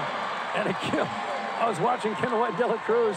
They jumped up. They're fine. Point Omaha 15-14 toward Dixon the point. I think Omaha has been doing a really solid job passing tonight. They've gotten their setters in a great setting position most most of the time on serve receive. And if they can keep that up, that helps keep their offense rolling. Casey Evans checked in quickly. She's a former Georgia Bulldog star playing close to home with Atlanta serving specialist. She checks out again. Now Dixon trying to tie this thing. Fanning gets stopped. Guess who? Kristina Vuchkova. Little attitude after the block. Little attitude after the block. We're tied at 15. She's got a little European flair to her. She loves to get the crowd into it and get excited about it, get her teammates excited. She doesn't mind throwing a little attitude out there. If you block somebody like that, you get to throw a little attitude. And another kill for Lazareva. Anna Lazareva. That whip right arm makes it 16-15 Atlanta. Another high hands kill for Anna. She's seeing the block really well, I think. And that ball was down the line, so it's just out of reach for Betty. Betty's trying to go for it from middle back, but it's just out of reach. Marlie Monserrat to serve. As Tori Dilfer Stringer was traded yesterday for two number one round draft picks from Columbus. And so Monserrat is going to be your center from here on for Atlanta. And that big block from Fanning gives Atlanta a two point lead. Yeah, Fanning had a little attitude of her own there. It was a little bit of getting her back with Vuchkova. Set was a little low, and Kristina had to short arm it. There's Monserrat again. Nice pass, Kendall White. None of those skies out. No touch. Omaha's calling for the touch. And they are going to challenge it. We got the buzzer in there. I think that's a smart play because when all the players on the team are calling for it, you're pretty confident that somebody, or if not everybody, saw it or heard it. Time to bring out the old Bolt 6 here and see if somebody's finger caught it. There's Laura Bird Kuhn, interim head coach. She took over when the team was one and one. They're now seven and three, so she's six and two, and most of those games are on the road. I mean, these road warriors, they love playing away from here. I think they enjoy playing here too.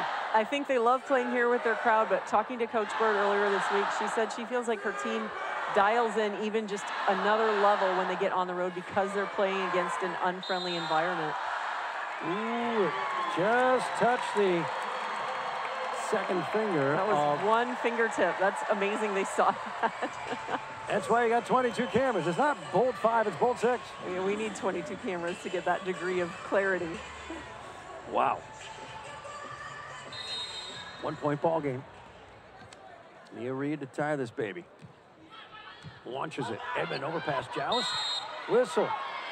Back row attack against Monterey. We're at 17. And that started off with Nia Reed serving a tough ball.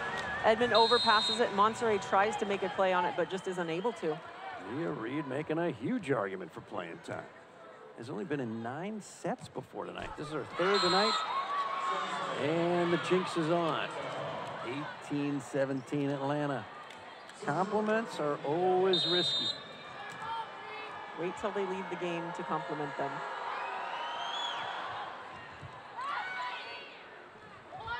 De La Cruz the pass, Nuneviller the tip. No. Great up by Fanning. Remember Mene, not this time. Again, Brooke Nuneviller tipping. Good cover. Nia Reed gets another kill. Launching from the back right. Nice swing out of the back row for Nia Reed. I like it that she's being patient with the ball. She's waiting to see what's happening. She's doing a great job with what she's being given. In the college game, my memory is that Nia was primarily a front row attacker. I don't remember her digging like this, back row attacking like this. It just shows you at age 22, 23, when they finish the collegiate game, they're not close to their physical peak. Agreed. I read or heard somewhere that women reach their physical athletic peak at age 28 or 29. So most of these players that we see who only play in college, they don't even come close to reaching the best they could be because they never have the time to develop to that point. Service ace. 1918. They're tossing out t-shirts. And I didn't jinx her. I just said she made a service ace. Don't blame me on that one. 19 each. I have to report what's happening. Checking in is Allison Mayfield trying to give the team a lift as she did against Orlando Saturday night. Had 12 kills. Here's the first touch. And she's blocked. With a big block like Yelisheva, you've got to go tire with those tips because she can hang. It's like it feels like her hang time is twice as long as anyone else's. So a tip that normally goes just over the block and falls is into her hands. Slide off a bad pass. Wow. Block back, set dump. No. Remember Mene. And that'll drop. Kendall White, I think, wisely decided, you know, I've still got many years to play. Let that one drop at 21-19. That's a critical point for Atlanta. They have four to go to take a 2-1 lead here. For the moment, we're tied at one set each. But the middles have played such a big role in this match. They always do, but particularly tonight when they've getting so many swings and so many blocks. I mean, there are matches when passing is bad, when you're constantly setting outside or to the pins. The middles don't don't aren't featured quite so so much. So it just shows the confidence they have and the talent we're witnessing in the middle. Right, I agree. And I think the middles are playing well for both teams. They're getting a lot of touches. They're able to be involved in a lot of different parts of the match. But I think middles on both sides have been doing a really nice job with blocking in particular, but also with attacking really well. 21-19.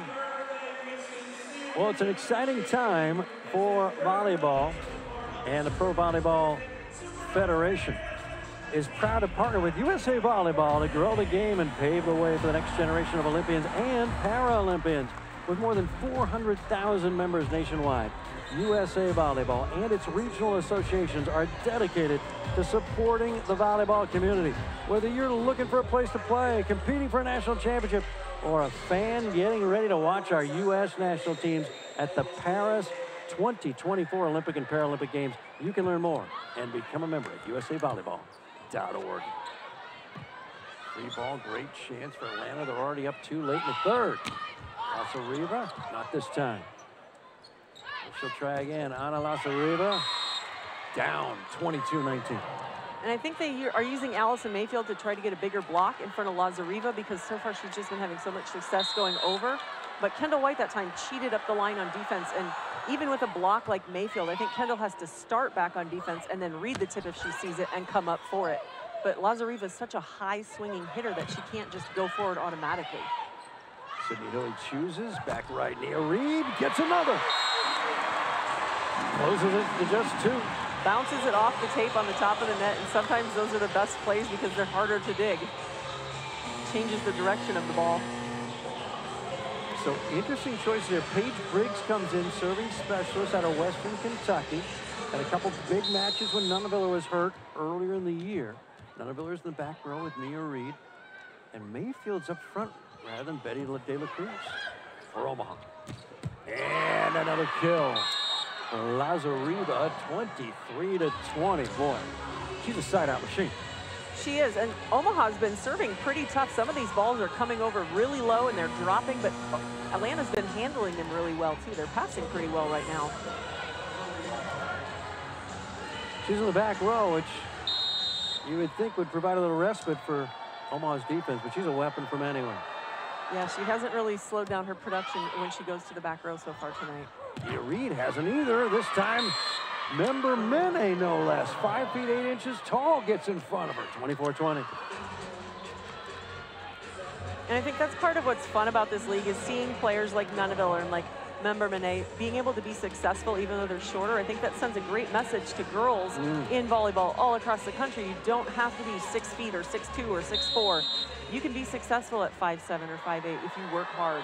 Grew up in St. Louis, has seven brothers and sisters. Leketor Member-Meneh and Mayfield deals one to her right. Not over yet. Atlanta still has some wood to chop. Nice sharp angle from Mayfield. That's a tough ball to hit. Former KU Jayhawk. Allison Mayfield finished in 2011. Came back to play, made the team, playing a key role. Lazareva, knockdown.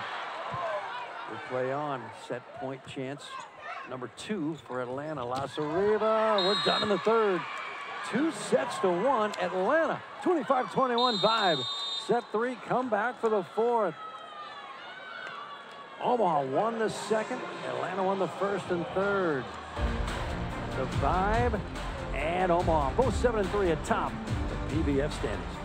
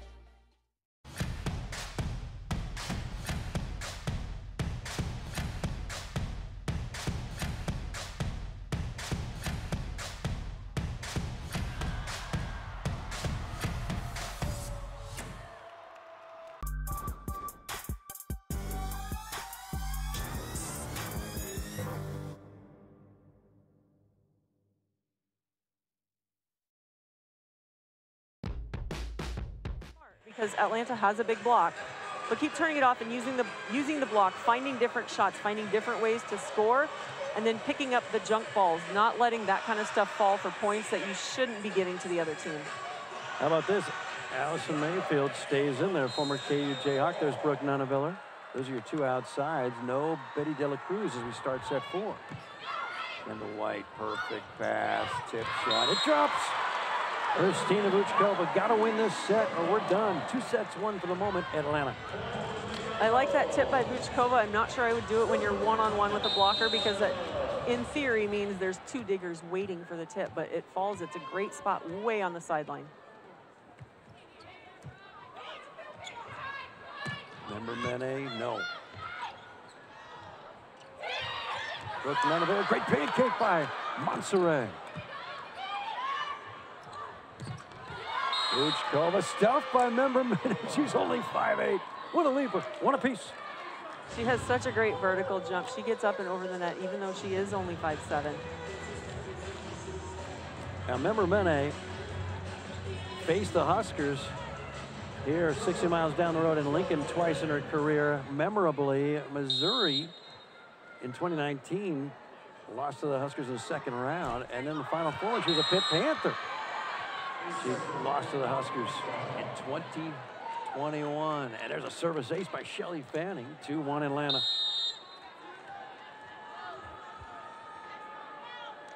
Fanning, former Baylor Bear, along with teammate Yossiana Pressley, who played a little bit into set two. And a kill. Nia Reed from the back row. 2-2. How do you think Sydney Hilley has performed as the setter coming off the bench late set one? I think overall, Sydney's done a pretty nice job running the offense, mixing it up, going with hitters that are in rhythm and trying to find a way to score. Um, I'd like to see her get their middles a little bit higher. She's underset Tori Dixon a couple of times and Vuchkova once or twice. Get their middles a little bit higher, but keep them involved because I think the middles being involved helps Omaha be successful. You read again from that back right. No. Setter with the dig. Someone else has to do the setting, and Lazareva gets blocked. Allison Mayfield, 3-2, Omaha set four. Great job by Omaha just staying put on the block and being solid and in position, not falling, moving around because Lazareva is trying to wipe, the ball's just too tight. Lazareva can't take a swing at it. She's trying to wipe it off the block, and they did a good job staying, not, not letting her use them. Member-Meneh, nice shot by Nuneviller. Mayfield now swinging. Edmond blocked by Dixon, knocked down. Lazareva, kaboom! 3-3. Another really nice high swing by Lazareva. Started off, though, with the cover ball by Morgan Hentz. Some of these hitters are getting blocked, and there are forceful blocks back, and Morgan Hentz flying across the court to pick that ball up and cover it. Morgan Hentz, Little Libero, three titles. The one time Stanford didn't win it was 2017. What an upset that night in Kansas City by Florida. The Final Four. Oh, miscommunication there. 4-3 Atlanta. What happened? They both called for the ball and neither one backed off. That's the kind of play you can't give up at this level. You guys, when, when they've been playing together that long, they've got to know each other better, and one person has to just back off and say, yours, yours, yours. Been together since training camp in December. Dixon out of bounds. 5-3 vibe. They're 20 away. They're up two sets to one. And Omaha on the road. You can see there, it was so close. Mm. And that's a nice swing by Dixon. She just missed by inches. Omaha, Omaha on the road, 5 and one. At home, 2 and 2. Another Miller tipping. Back row, Leah Edmond. And it's 6-3 Atlanta on the road here in Omaha's home court. Lazareva that time went after Mayfield with that short falling serve that dies in front of her. And it's the same serve she hit Betty De La Cruz with early in the match. I'd look for her to go deep down the line the next one. Lazareva serves, high pass, one choice, push it over by Sydney Hilley. Member Mene pounds it off the block. Great up by Nuneviller. Big swing here. Allison Mayfield into the antenna. 7-3 Atlanta. Some nice ups on defense there, but just a tough way to lose another point hitting a ball into the antenna. It was a little bit wide on the set, but I think she can make a better decision on that. Timeout, Laura Bird-Kuhn. Omaha facing adversity in the fourth. Down two sets one.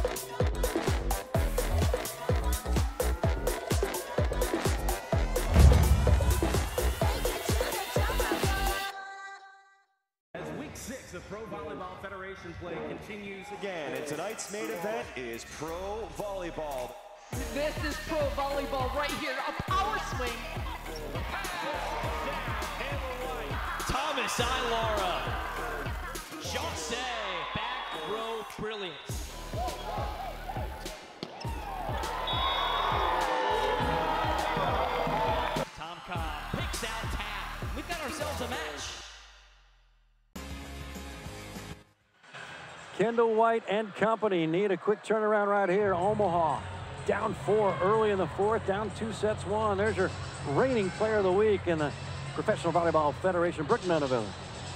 20 kills Saturday night at Orlando. Hit 313, 18 digs. That's worthy of recognition, that's for sure. Yeah, she had a great night, and she's, like I said earlier, she's just been so consistent for this team. She plays well, and she plays even better. And so she's been a great leader for Omaha. It was nice to see her get recognized.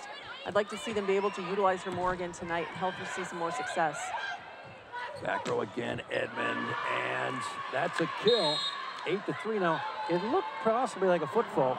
Back row attack touching the 10 foot line, but they got the old bolt six on it, and apparently no call. Eight three. And the Bolt Six will not actually call the foot fault. The referee has to call that, and then the, the other team coach can challenge it if it's not called. But if you lose the challenge, you lose your opportunity to challenge. So it's a call that most coaches aren't going to make because they're so far away from it to know for sure if it was a foot fault or not. It's a tough challenge to kind of live or die on. You get two challenges each set, and you keep them if you have a successful challenge. I'm not sure I've seen it. Uh, there are very few successful challenges with the Bolt Six. Know, Paige Briggs comes in, had a couple huge matches earlier in the season when Nuneviller was out, and they serve her right away. Okay pass, back row, Nia Reed, down. Nine for Atlanta. Now, why do you think Betty De La Cruz is watching so much suddenly? Honestly, I just think Coach Bird is just trying to find something else that works, just trying different things. Betty wasn't having a ton of success attacking, and I think she just wants to go with some other players and see if they can get a spark somewhere and get something going.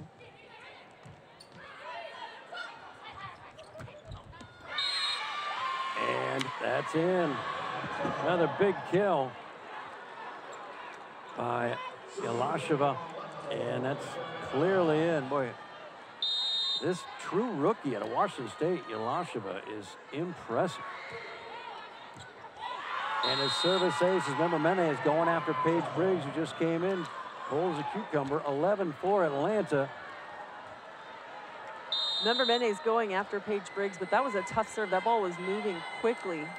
She's had several errors tonight, but she's not backing off. She's still going after it hard. No trouble for Kendall White on the pass. Nia Reed needs it. Can't buy it. Leah Edmond for Atlanta. Not down. Briggs. Atlanta leading by seven. Back row. Make it eight. Member Mene has started coming alive, and it's it's good to see her spark for Atlanta. In the third set, Lazareva had nine kills, so they relied heavily on her. She had 17 attempts. The next closest was Leah Edmond with nine. So I think Atlanta is trying to get back to mixing it up a little bit and not relying quite so heavily on Lazareva right now. Paige Briggs, Brooke Nuneviller, and Kendall White assigned the task of passing this Leketor Member-Meneh serve. It's so tough to handle. That one might have been long. Briggs plays it, gets it back, swings, Doug. Member-Meneh, just it's coming in waves right now at Omaha. It is, and that's another nice up by Morgan Hentz. I think Briggs took something off of that one because it wasn't quite in tempo for what she was expecting, and it's an easy up for Morgan Hentz, and they are right in system, rolling in tempo to Member-Meneh again out of the back row. Omaha's won six out of seven while being on the road, six of those seven matches. Finally back home for the first time in nearly a month. Last year on February 18, and in a whole lot of hurt. Down by nine. Dixon make it 10. Leah Edmond feeling, feeling it 14 to 4. It has been all Atlanta this set. Here you see Edmond get right up with Tori Dixon and go right over the net. She's all over that set before Dixon even swings on it. Trying to move Member-Meneh off the service line. Paige Briggs, rookie out of Western Kentucky, needed that one. That's one. 14 to 5. That's the start for Briggs, sneaking it through between the block. She she was really working hard to handle that serve because member Monet was putting heat on that ball coming at her. And Briggs doing a nice job of continuing to pop it up where someone else can play it.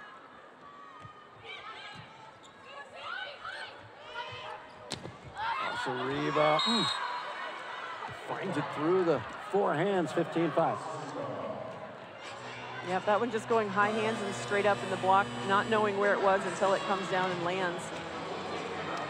They're in front of her. They've just got to keep pressing over and not reaching up. Sometimes with a big hitter like Lazareva, when she's so high, it's tempting to try and reach higher to block her. But by doing that, you open yourself up to some touches that are not playable. Donna Viller to the front row, gets dug. Lazareva, she's mortal.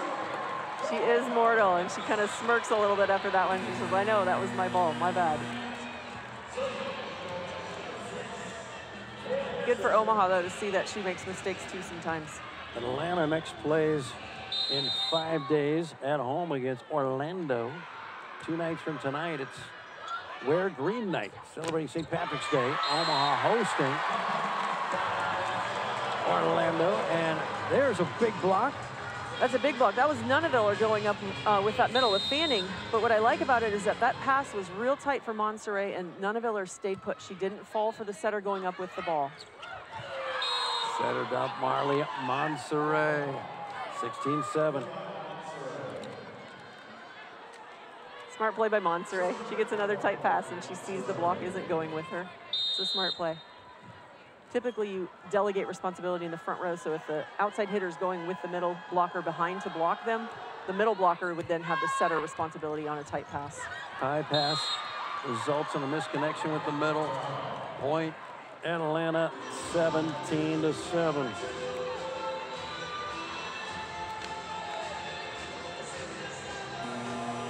Miracle comeback needed right now as Sydney Hilley checks out. And tonight's starting setter, Nati Valentine Anderson's in there. Former Olympian herself, native of Puerto Rico. Valentine Anderson sets the right side. Tip across by Nia Reed. Quick attack, Shelly Fanning. And Omaha just seems out of sorts right now, 18-7.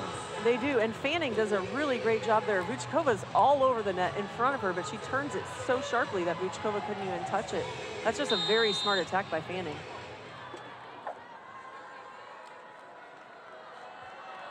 Atlanta trying to win for the second time this season on this floor. Omaha's only lost three times to date this season. And Lazareva misses just wide. 18-9. Make it 18 to 8. Atlanta. Lazareva just makes this a different Atlanta team. Uh, She is just She does because she's such a consistent option for them. She she does make mistakes sometimes, like we just saw, but overall she is consistently such an offensive weapon for them that they can find her anywhere on the court and she can make something happen.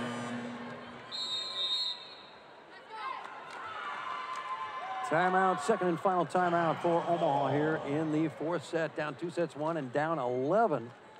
Late set four.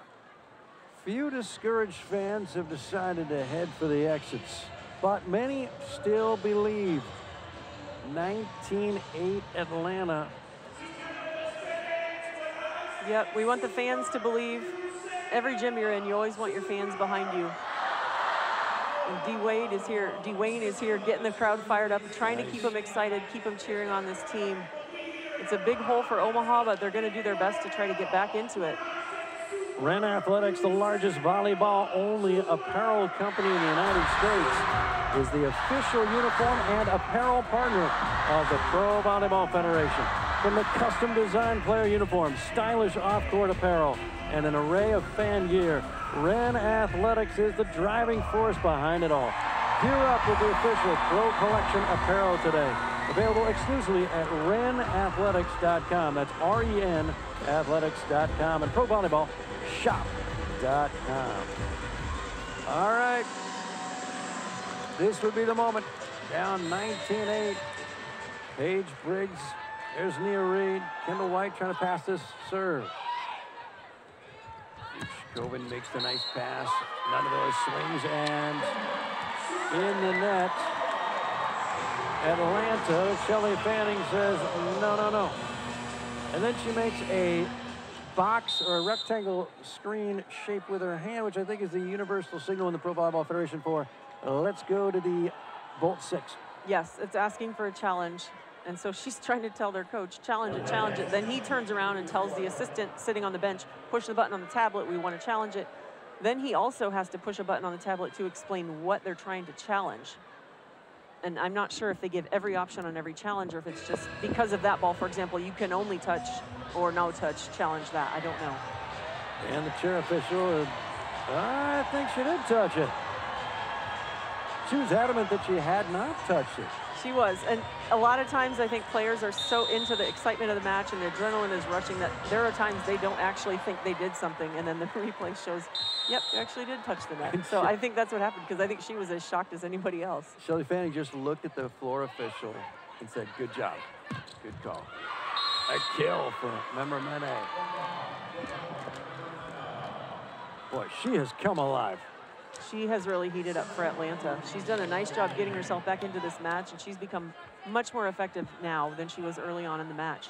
Remember, she's taken over for Allie Linehan, who was the player of the week in the entire league the first week of the year. And, boy, with Edmond and Lazareva already, yeah, throw in Leketor Member-Meneh with a hot hand, and uh, they got a lot of chance, a lot of options. Here's Yasi Pressley just checking in for Atlanta. Fun to see if she gets a swing. Paige Briggs gets dug. There's Anna Lazareva banging it off of the smaller Paige Briggs block. It's all Atlanta, 21 to 9. That's a nice swing by Lazareva. She had to get to that ball a little bit quicker than she's used to, but she did a nice job getting to it quick and using her wrist to turn it off that block that's not pressed over. Paige Briggs pushes to the deep corner, no. Pressley, nice up by Nuneviller. Free ball across. It's all Atlanta. 21 to 9 in the fourth. Anna Lazareva. A clinic tonight offensively. 22-9. She has been. I think the thing she's been doing the best right now that I'm impressed with is how she's moving her attacks around. She's hit several to the deep corner early on in the match, and Omaha made an adjustment. Their middle back moved over to the deep corner, and now she's hitting them down what we would call the 5-6 seam between the left back and the middle. So on that last ball, Nuneviller was diving towards left back trying to get a touch on the ball. Lazareva is just doing a really nice job moving it around and changing up where she's hitting. Nuneviller pounding away from the back row, 22-10.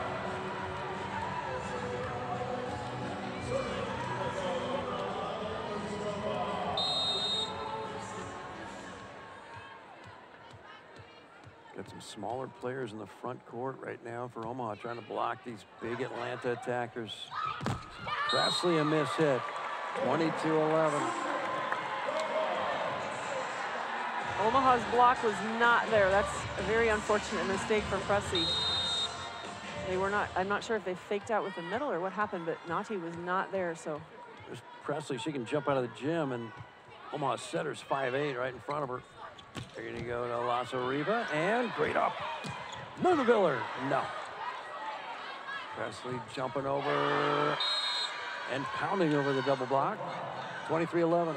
That's a great shot by Pressley. Knowing she's got that shorter blocker there, she just hits right into her. Nadi was not pressed over the net at all on that block. And so when the ball hits into her, it's on the Omaha side of the net already. Briggs, the constant target. She's been decent passing, gets her first kill. 23-12. I really like the tempo there to Briggs. They were running Tori Dixon in front, and she held the middle long enough that Briggs had an open net to attack.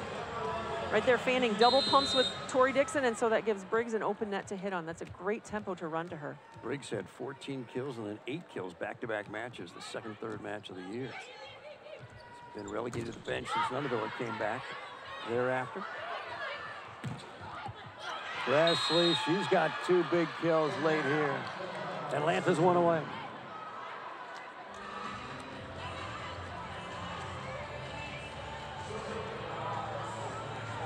Yossiana Pressley, National Player of the Year 2019, a legend from Baylor University. Briggs it again, the target. Decent pass, back row swing, Nuneviller, no.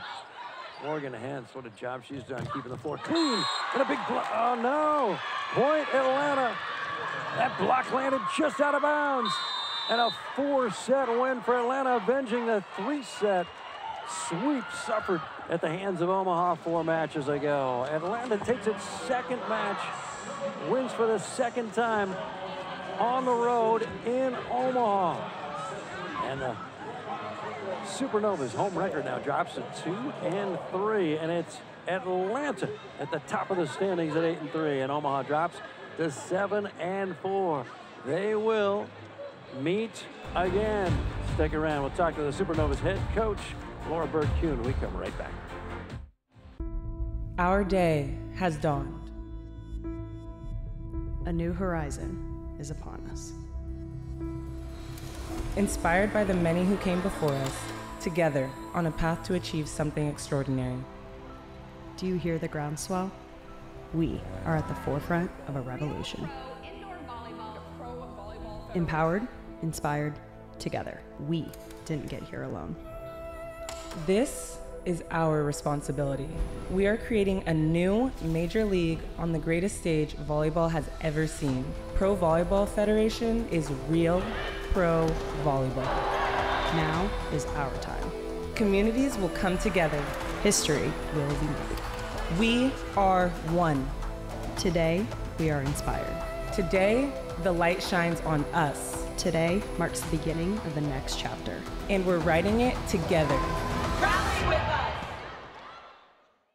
Fans are so excited. Showtime to join Atlanta Vibe. 10th year as a pro, signed in July, activated February 14.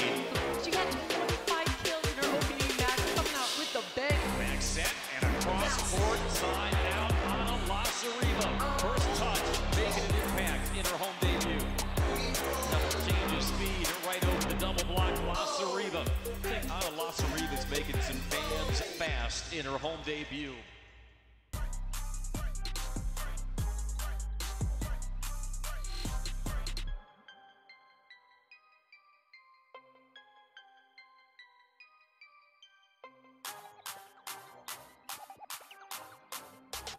You got to stay away from Omaha. You got to just keep playing out of here. Play on the road. What did I say? Welcome back. We're back at the CHI Center. That's the Olympian Nancy Metcalf. My name John Baylor. There are your new standings. Atlanta's atop eight and three. Omaha drops to seven and four. Still well ahead of Columbus, Grand Rapids, then Orlando, Vegas, and San Diego as the Supernovas in two nights will welcome the Valkyries from Orlando in town. And there's a good look at Laura Bird-Kuhn, head coach of Omaha. Things are going really well after set two. Yeah, after set two, that one set. What happened there in set three? Things, at the very end, they pulled away, and then it was all Atlanta set four.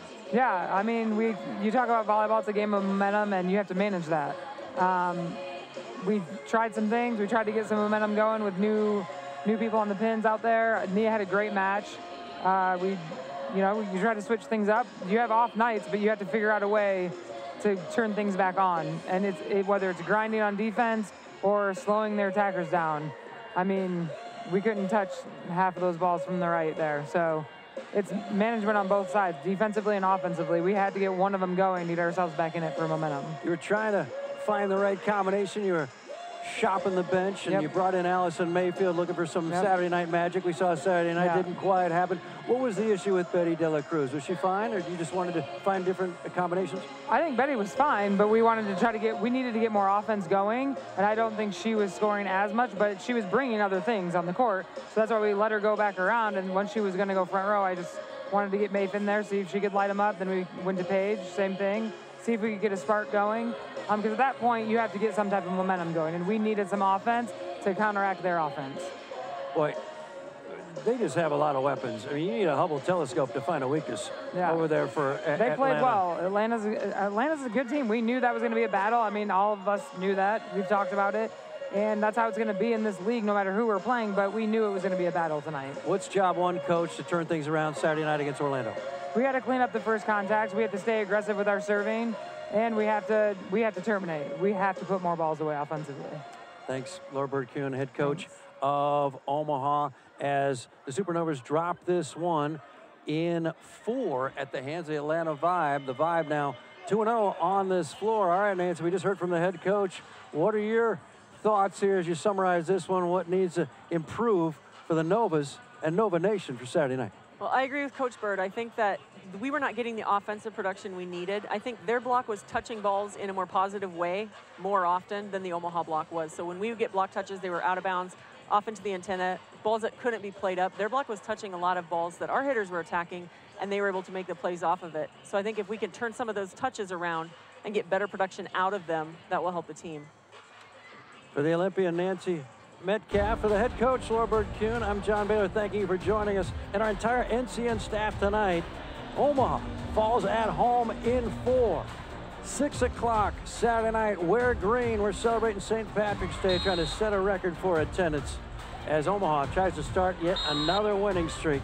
But it's Atlanta at the top of the standings, 8 and 3. Omaha drops to 7 and 4 until Saturday night. Good night.